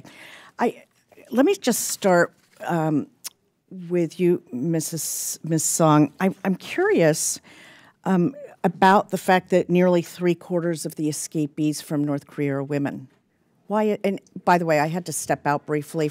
I'm sorry if I missed the reason for that, but could you just enlighten me? Yes, thank you, uh, Senator Wild. There are uh, representative, just so you know. Sorry, that's sorry, okay. Representative Wild. Um, there are two factors that we can consider into why the majority of the escapees are women. Firstly, it's the internal factor in North Korea, where um, women in North Korea have relatively more freedom of movement compared to the men, despite the fact that uh, the men are not uh, compensated for their work. They are still expected to report to their factories, to their workplace every day. On the other hand, women are given the a work status of being a housewife, and they use take that to their advantage of being able to travel to different provinces, um, and that is how uh, North Korea, in fact, has been able to survive despite the Great Famine in the late 1990s and early 2000s. It was the women who went to the markets. It was the women who went to China, smuggled goods, and was able to keep the economy alive. At the same time, it's also the women who are vulnerable to being trafficked to China because of the pull factor from from China, in which, as I mentioned to uh, Senator Merkley before. Well, I, and I was going to get to that. I was just curious about why more, so many more women than men. Um, and, and do the, these women generally travel in groups or individually when they are attempting to escape?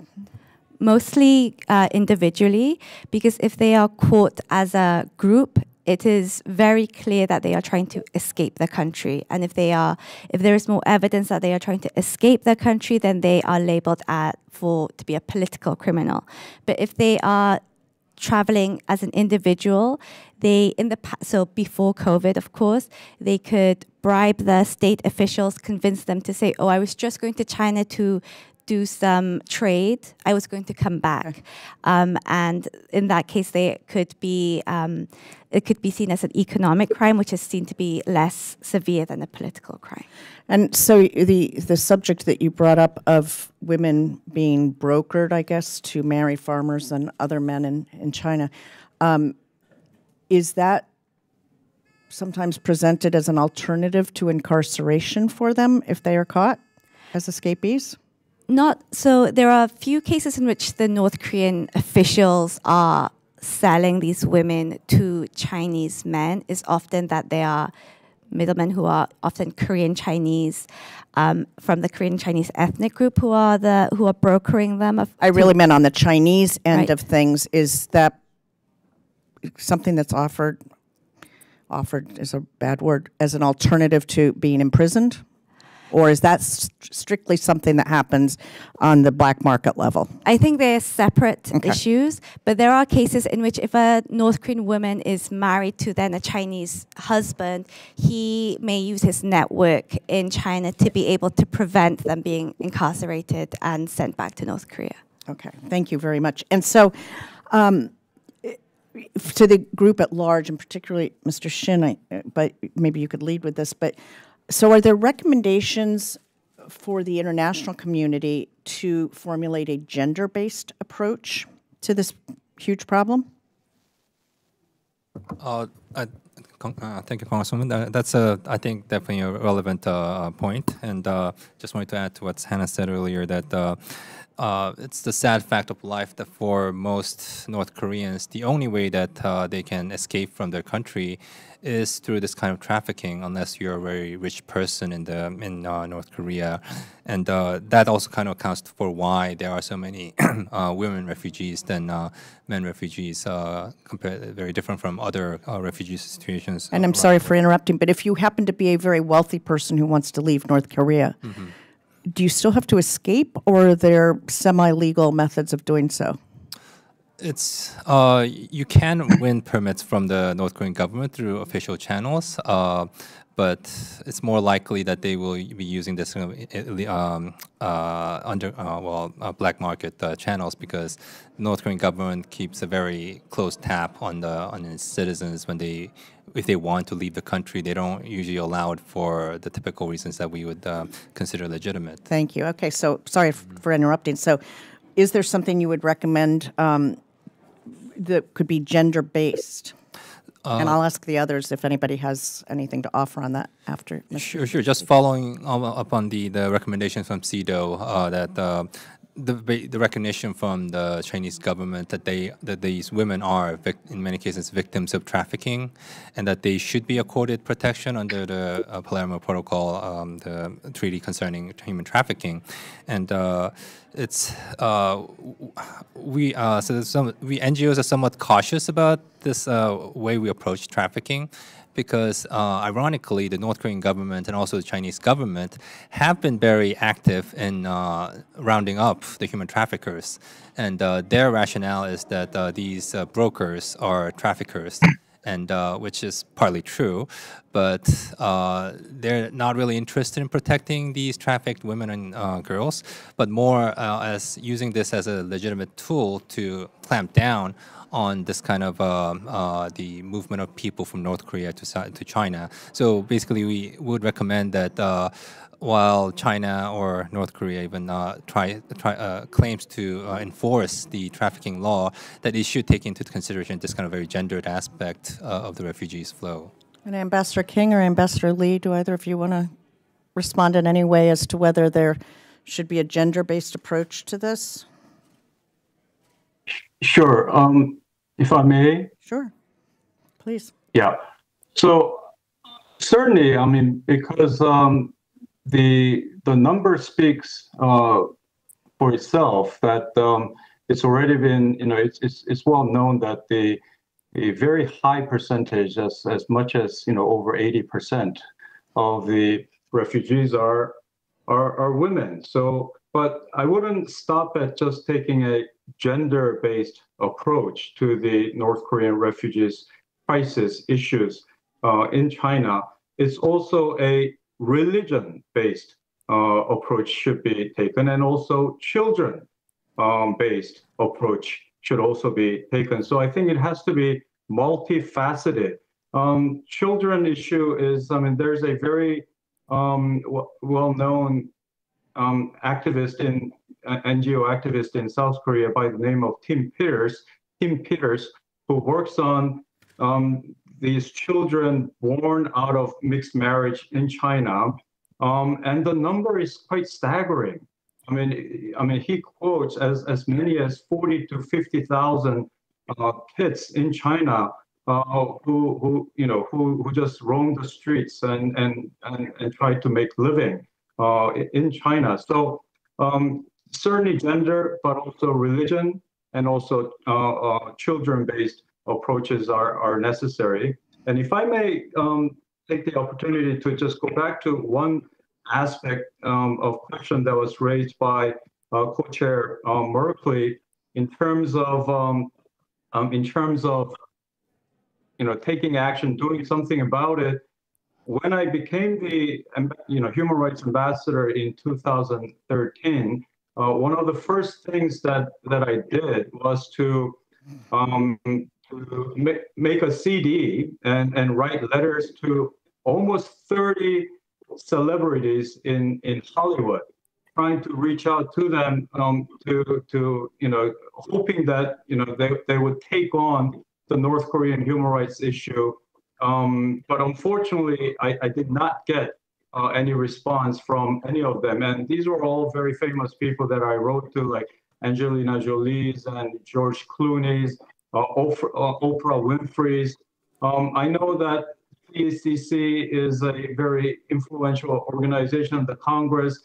I think it really would be a huge um, uh, help to get on board uh, some of the celebrities or athletes to take on the North Korean human rights issue, the, the refugee issue in China. Um, we've had limitations. I know, I know our Ambassador Bob King also tried to do this, but if the Congress can get on board to, to really find some um, celebrities to take on this issue, I think it will be a huge event, a well, huge plus for the for the campaign. Thank you. That actually leads into another question that I have, but I would like to ask if if you don't mind, can you forward um, this commission a copy of the letter that you sent to these celebrities um, so that we can review it and perhaps uh, formulate our own letter and attach yours um, because I think that's very, very important. Um, it does lead into the question that I had about um, the overall international community's approach to this situation um, and whether it should be a high profile approach or a behind the scenes approach. And, you know, the first thing I don't I guess I don't really understand is whether high level pressure, um, celebrity pressure, and that kind of thing has any kind of impact on um, the on the president and other leaders in North Korea. Can you just tell me that first? Or are they oblivious to high level celebrity um, pressure? North Korean leaders are ob- oblivious to anything. Okay. Uh, Thank you, Ambassador King. celebrities, uh, Clooney, uh, Doesn't matter. Oprah. Won't make any it, difference. won't make a difference. And that's largely because they're so isolated, insulated Sure.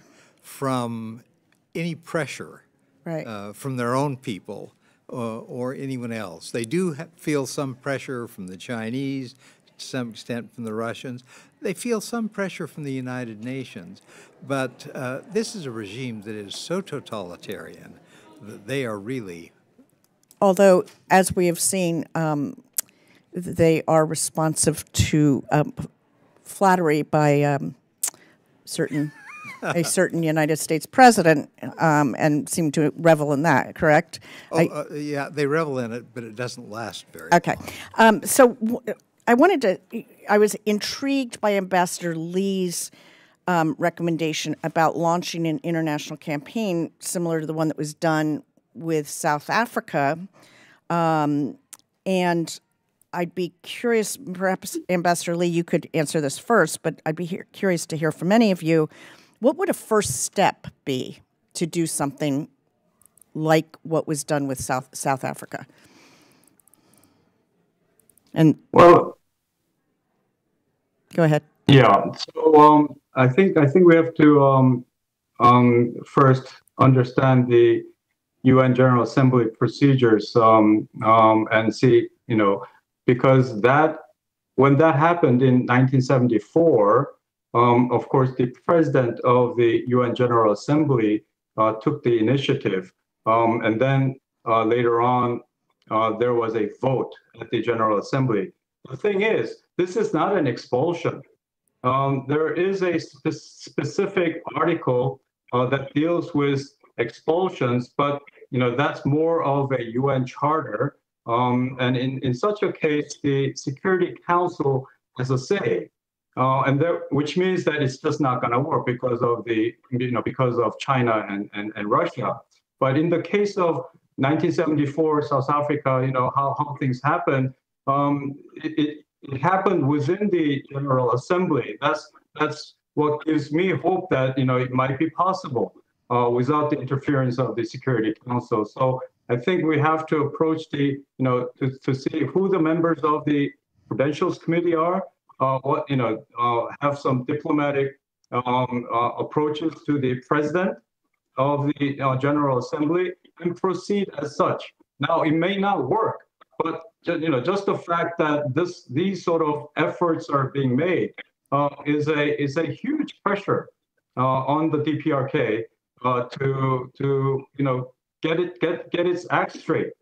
Now, um, you were earlier mentioning about you know does it really matter? Um, I think it does uh, because when the COI report came out, and particularly you know uh, recommending that the the, the, the North Korean North Korean perpetrators, uh, the human rights issue be referred by the Security Council to the ICC, International Criminal Court. North Korea responded very, very sensitively. So they don't like the international community finding out about, you know, uh, about all the all the human rights violations that's going on uh, in North Korea. So I would assume if some of the very high profile celebrities uh, start talking about human rights abuses and, and, and situations in North Korea, I think it would matter. And who should be the person or group of persons who would approach the UN General Assembly the, to the uh, Credentials Committee? Who would you recommend that be? I think it has to be done at the governmental level. So there has to be some coordination between the you know U.S. and South Korean government. Um, but you know, I'm I'm speaking not as a government official. It's just my you know personal idea. So you know, please don't. No, I um, understand. consider I- I just find it to be an a, you intriguing know, idea. And yeah. um, uh, Ambassador King, do you, with your many years of experience um, with North Korea, think that that is a reasonable approach? Is that a, a good approach? Because the reason I'm asking is because what I'm hearing is that they, they, while they may be sensitive to criticism, it, since they don't really have any feedback or repercussions from their own citizens, it's very hard to penetrate a government like that and, and to effectuate any kind of change. Do you have any thoughts on what a first step would be to? You know, the North Koreans are sensitive to international pressure. Uh, when North Korea looks bad internationally, they are concerned about that uh, fact. That happened when the, commi- uh, the uh, Commission of Inquiry report was published by the, uh, in the Human Rights Council in uh, 2014. Uh, the North Koreans were suddenly, uh, uh, the foreign minister, for example, who had not attended the New York September meetings where all of the high-level officials attend. First time in 14 years, the South Korean foreign minister showed up. Uh, there You was said South Korean, do you mean I mean, North? excuse me, the North, we'll get the Koreas straightened out. Yeah, the North Korean foreign minister showed up. So uh, there is an effect. One of the things that has been very positive in terms of putting pressure on North Korea is debating North Korea's human rights in the, in the uh, Security Council. Uh, When the report came out from the Commission of Inquiry, the issue was taken up in the Security Council. At the time, uh, the United States worked cooperatively with other countries. The Security Council does not take action unless all five permanent members agree, but you can have a discussion as long as you have a majority uh, of nine members of the Security Council calling for a discussion. And so we had a, a a program going of annual discussions of North Korea's human rights problems at the Security Council. This raised it to the level of, you know, it's not just something we're dealing with in this uh, organization that deals with human rights, it's something the Security Council is concerned about and talks about. And which countries does North Korea most worry about um, being influenced by this negative publicity about their human rights abuses? I mean, China, obviously, but who else? China and Russia, but they're not going to object. Right. They're they're not going to be a problem. But basically, the good countries of the world, Okay. they want respect from They, so it's a respect. Is it a matter of respect mostly? Uh, part of it is respect. The North Koreans are sensitive about their stature. Uh, North Korea has some real questions about its legitimacy. Uh, there is a Korea, uh, and there's a sense that there's one Korea. And when you look at North Korea and it's being uh, discussed in the Security Council, and they're having votes against uh, North Korea because of its human rights, it questions the legitimacy of the North Korean government. And so there's value in continuing to do this. This is one reason why the Security Council debate was important and why it was very unfortunate that the United States has stepped in two or three times to block that from happening. We're back on track now. It's taking place. We need to continue this effort of questioning the credentials and, and of, of the North Koreans, and that is the way to put pressure on them. I've gone way over my allotted time, but let me just ask Mr. Shin and Ms. Song, do either of you want to add anything else to any of the prior discussion in response to my questions? Thank you, Congresswoman. I think I definitely agree with everything that has been discussed thus far, and uh, also want to add that the uh, the that's also given the difficulty of uh, uh, the Security Council reaching any uh, agreement about North Korea these days. Uh, perhaps it is poss- it is very the General Assembly perhaps is also an important forum, uh, as was the case with Ukraine and other uh, country situations. And I just also want to add that. Uh, since we are at the CECC meeting here, China's responsibility. Uh, this, that's one aspect that has not been fully uh, or adequately raised uh, in the uh, over the past years. It has been raised in the COI report, for example, but uh, it hasn't. Even the NGOs, uh, quite frankly, have not really focused on the role that China has been playing. And uh, I think uh, it's important to hold China accountable for what's happening in North Korea because that, at the end of the day, they are the enabler. And uh, uh, also, it's important for the reason that uh, Xi Jinping probably cares more about the this kind of international repercussions than Kim Jong Un might will. Okay, So it's an indirect effect. And Ms. Song, did you want to say anything? Yes, the only um, other thing I would add to uh, what has been already mentioned in terms of the international launching an international campaign is we shouldn't just be thinking about what the North Korean leadership thinks of having an international campaign, but what the North Korean people would react to.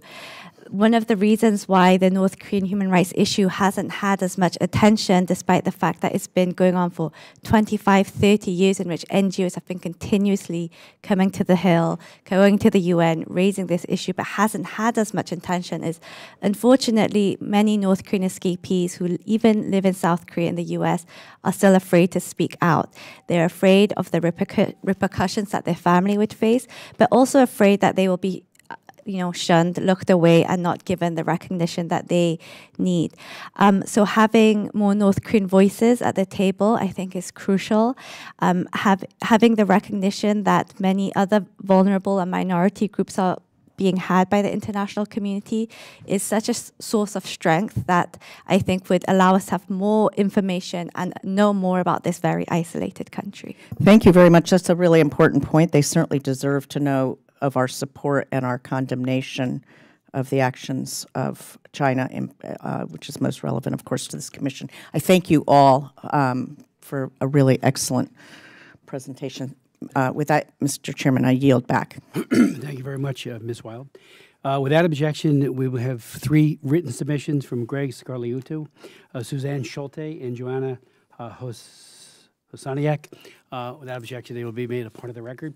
And before I go to just a couple of final questions, um, uh, I want to thank especially, I mean, we have a, an amazing group of people who staff the China Commission, uh, uh, just an amazing group that, that are scholars, are are uh, do the due diligence, the, the, the hard work of um, knowing what really is going on and, and, and, denying surface appeal argumentation. They go far beyond that uh, and really pierce the issue. So I, I want to thank them for their help in, in, not just this hearing, but all the work we do. I especially want to thank Juan, uh, who's our uh, special advisor, a fellow, uh, who did yeoman's work on this hearing, but also provides the commission with just tremendous insights especially as it relates to Korea, North Korea, and South, and China. Uh, I want to thank uh, Piero Tozzi, who's our general counsel, uh, who um, uh, just has done a tremendous amount of work, and he speaks fluent Chinese. So, uh, you know, when we get into discussions, um, uh, particularly with interlocutors who are would rather speak China Chinese, there's Piero, and I sit there and I have to get translation from both uh, both sides. I want to thank uh, Matt Squeri, who's uh, uh Senator Merkley's uh, top uh, staffer on the commission for his tremendous work, and Scott Flipse, who has been with the commission and does tremendous work. As I pointed out before, some of the bills that have become law, including the Hong Kong Human Rights and Democracy Act, were his idea. So I want to thank you all, and I don't want to leave anybody out, but we do have a great commission group of staffers, and I'm just so grateful for the work that they do. Just a, a brief question on the issue of, um, of the Security Council. We know that South Korea just won a seat on the, on the uh, non permanent member, uh, 180 votes in their favor out of 192 potential. So it was an overwhelming support, uh, show of support for South Korea. And uh, Hwang Joon Kook uh, the ambassador to the United Nations made some very good statement. He did not mention, and I'm sure he will, uh, you know, the North Korea issue as it relates to the uh, forced repatriation of people from China. Uh, but this would seem to me to be a prime opportunity, working with the United States, I would hope, and other uh, democracies, to ensure that there is robust discussion about these individuals, all human rights, obviously, in North Korea uh, but also to really focus on this imminent forced repatriation. You know, delay is denial for them. If we delay and say someday something good might happen there, well, we have 2,000 plus more victims some of whom may be executed, tortured, and all the other terrible things. Uh, so I, I, think we need to be, uh, you know, doing whatever we can to assist the South Koreans as they assume that very important position. I also, um, you know, if perhaps you want to speak to that, our, our distinguished panel, but. Um, uh, Assistant Secretary of State for East Asia and Pacific Affairs, uh, recently went to China. We don't know exactly all what was talked about. There were some critics, including myself, who wished that he would, given the proximity to his visit to the Tiananmen Square massacre remembrance. Uh, nothing was mentioned about that. Uh, and I think, uh, you know, when you look to see what they've done in, in Hong Kong, they being Xi Jinping, they actually shut down not only the country, but even any remembrance, uh, which they claim didn't, does, didn't happen. You know, you go on their social media, and I've done it in, in internet cafes in Beijing and type in Tiananmen Square, Tiananmen Square massacre, and you got a, bunch of pretty pictures, no tanks, no bayonets, uh, and they say nobody died. When Chi Haotian came here uh, for a visit, as uh, he was the operational commander uh, for uh, the Tiananmen Square massacre, uh, he was now defense minister. And he was received at the White House by Bill Clinton with a 19 gun salute. He should have been sent to The Hague for crimes against humanity. He had the audacity to say nobody died at Tiananmen Square. Nobody.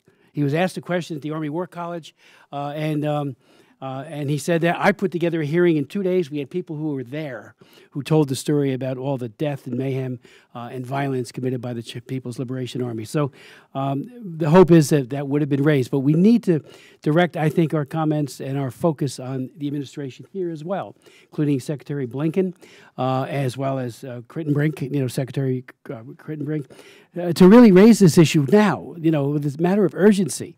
Because once these people are returned, who knows, God knows what's going to happen to them in terms of the violence they will suffer. So there needs to be a sense of urgency, which perhaps you might want to amplify a bit on uh, right now. And, and um, finally, um, uh, I guess I'll just leave it at that and just ask if you could answer those uh, or, or, maybe speak to those two issues. Security Council and um, trying to get our administration to do even more right now and to pivot. Uh, one of the things that I'm encouraged about is that uh, my successor uh, has been nominated by the president, has actually had a uh, hearing in the Senate. I'm sorry Senator Merkley isn't here. I'd like to see the Senate actually vote on that nomination so that uh, she can take take her place. It is helpful to have a special envoy for North Korea human rights issues. And I think it's encouraging that we've got that, and I think that's an important step forward. Uh, I think it's very useful to have discussions like we've had today. Thank you for having this session and being able to air these issues because I think that makes a big difference in terms of raising the level of consciousness here in the United States, but also in North Korea, thanks to Voice of America and Radio Free Asia, who are getting the word out on this thank you for doing that.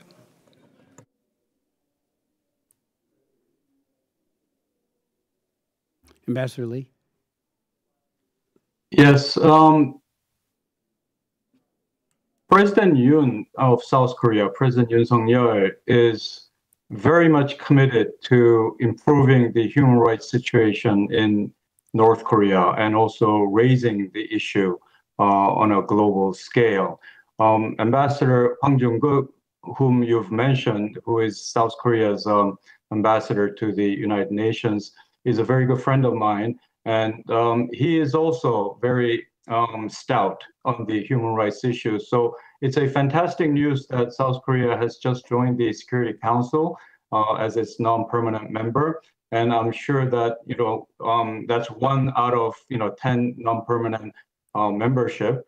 Um, and I'm sure that we'll, we'll make every effort to get the North Korean human rights issue back on the agenda uh, of the uh, Security Council. We have to remember that, you know, you have like over 10 um, Security Council resolutions and sanctions on North Korea, but none of them, none of them are on North Korean human rights. They're all on North Korean missiles and, and you know, nuclear tests.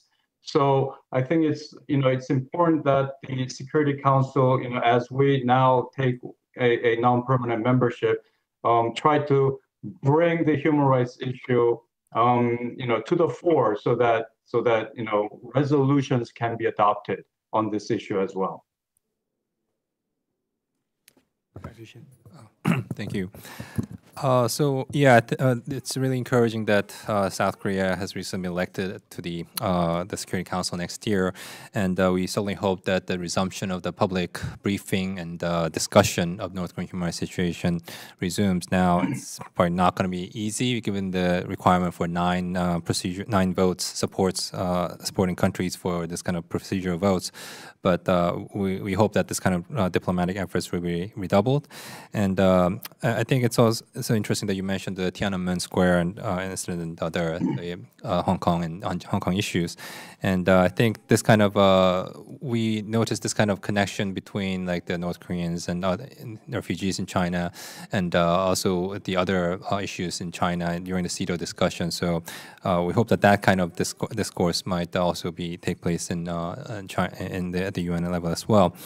Um, and I again like uh, hope, like, as uh, Ambassador King said, that uh, Julie Turner's uh, uh, uh, appointment as the special envoy will take soon rather than later. Thank you. Um, thank you, Mr. Chair. I, as you mentioned, it's very important uh, that the issue of North Korean human rights is raised at the uh, human, the Security Council. Excuse me, and we hope that uh, South Korea's seat at the table will make that more likely. But as you mentioned, I think it would be even more important to tie it to the Chinese issue. In the past, there have been discussions and advocacy efforts to just raise the issue of North Korean human rights at the Security Council, um, but having this transnational element, I think, would uh, allow more international attention to be brought to the issue. In terms of what the U.S. government could do more of, um, in addition, so last uh, Human Rights Day, Secretary of State Antony Blinken um, designated the North Korean border guards to be put on the U.S. Uh, sanctions list, uh, the Magnitsky-style sanctions. Um, yet the Public Security Border Defense Corps on the Chinese side, who are also very responsible, as we have seen and discussed today, they are not being held accountable for their involvement in the repatriation of North Koreans. So um, we hope that we'd be able to see more of these uh, designation and appointments of the, all who are involved in the human rights violations that are perpetrated against North Koreans. If I could just uh, and give you the last word on this, uh, Hana Song, you had mentioned um, in your discussion about satellite imagery that at least one Chinese detention center had been enlarged. Uh, I wonder what you think is necessitating that, and if you could speak to the issue of the wall uh, that's being apparently uh, uh built um, the Guardian and Reuters have both reported on it. Um, what does that signal in terms of relations between China and North Korea? As I mentioned in my statement, unfortunately, it's difficult to know exactly what the situation is without speaking to those who have either been detained there or have passed through in the past when NKDB has gathered data on these six detention facilities. We either did field investigations in China itself or were able to speak to former officials who worked in the detention facilities or North Korean escapees who had been detained there once and were able to come safely to South Korea what we can what we can only do at the moment is pose some questions. Um, from our understanding, from our many testimonies that we've gathered from North Korean escapees, they are not uh, they are not subjected to forced labor on the Chinese side. They're subjected to forced labor on the North Korean side because they're only detained in the past for a few weeks, longest a few months before they are forcibly repatriated. Now, what we're facing is a different issue because they've been detained there for as long as three years for some of them we don't have concrete evidence for this, but this is just a question that needs to be monitored, uh, something that we can monitor is is China also now subjecting North Korean detainees to forced labor during their long detention within these detention facilities. I think that is an area in which more investigations need to be done, either by satellite imagery or hopefully we will be able to have more access on the ground. Um, that is, but that is something that NKDB is looking at. And in terms of the um, fencing on the uh, Chinese side, that again shows uh, Chinese res China's responsibility in um, in also preventing North Koreans and restricting their freedom of movement, and how they should also be um, subject to accountability measures and not just the DPRK government. Thank you. Would any of you like to make any final word, or do you think we? Because again, your testimonies were outstanding.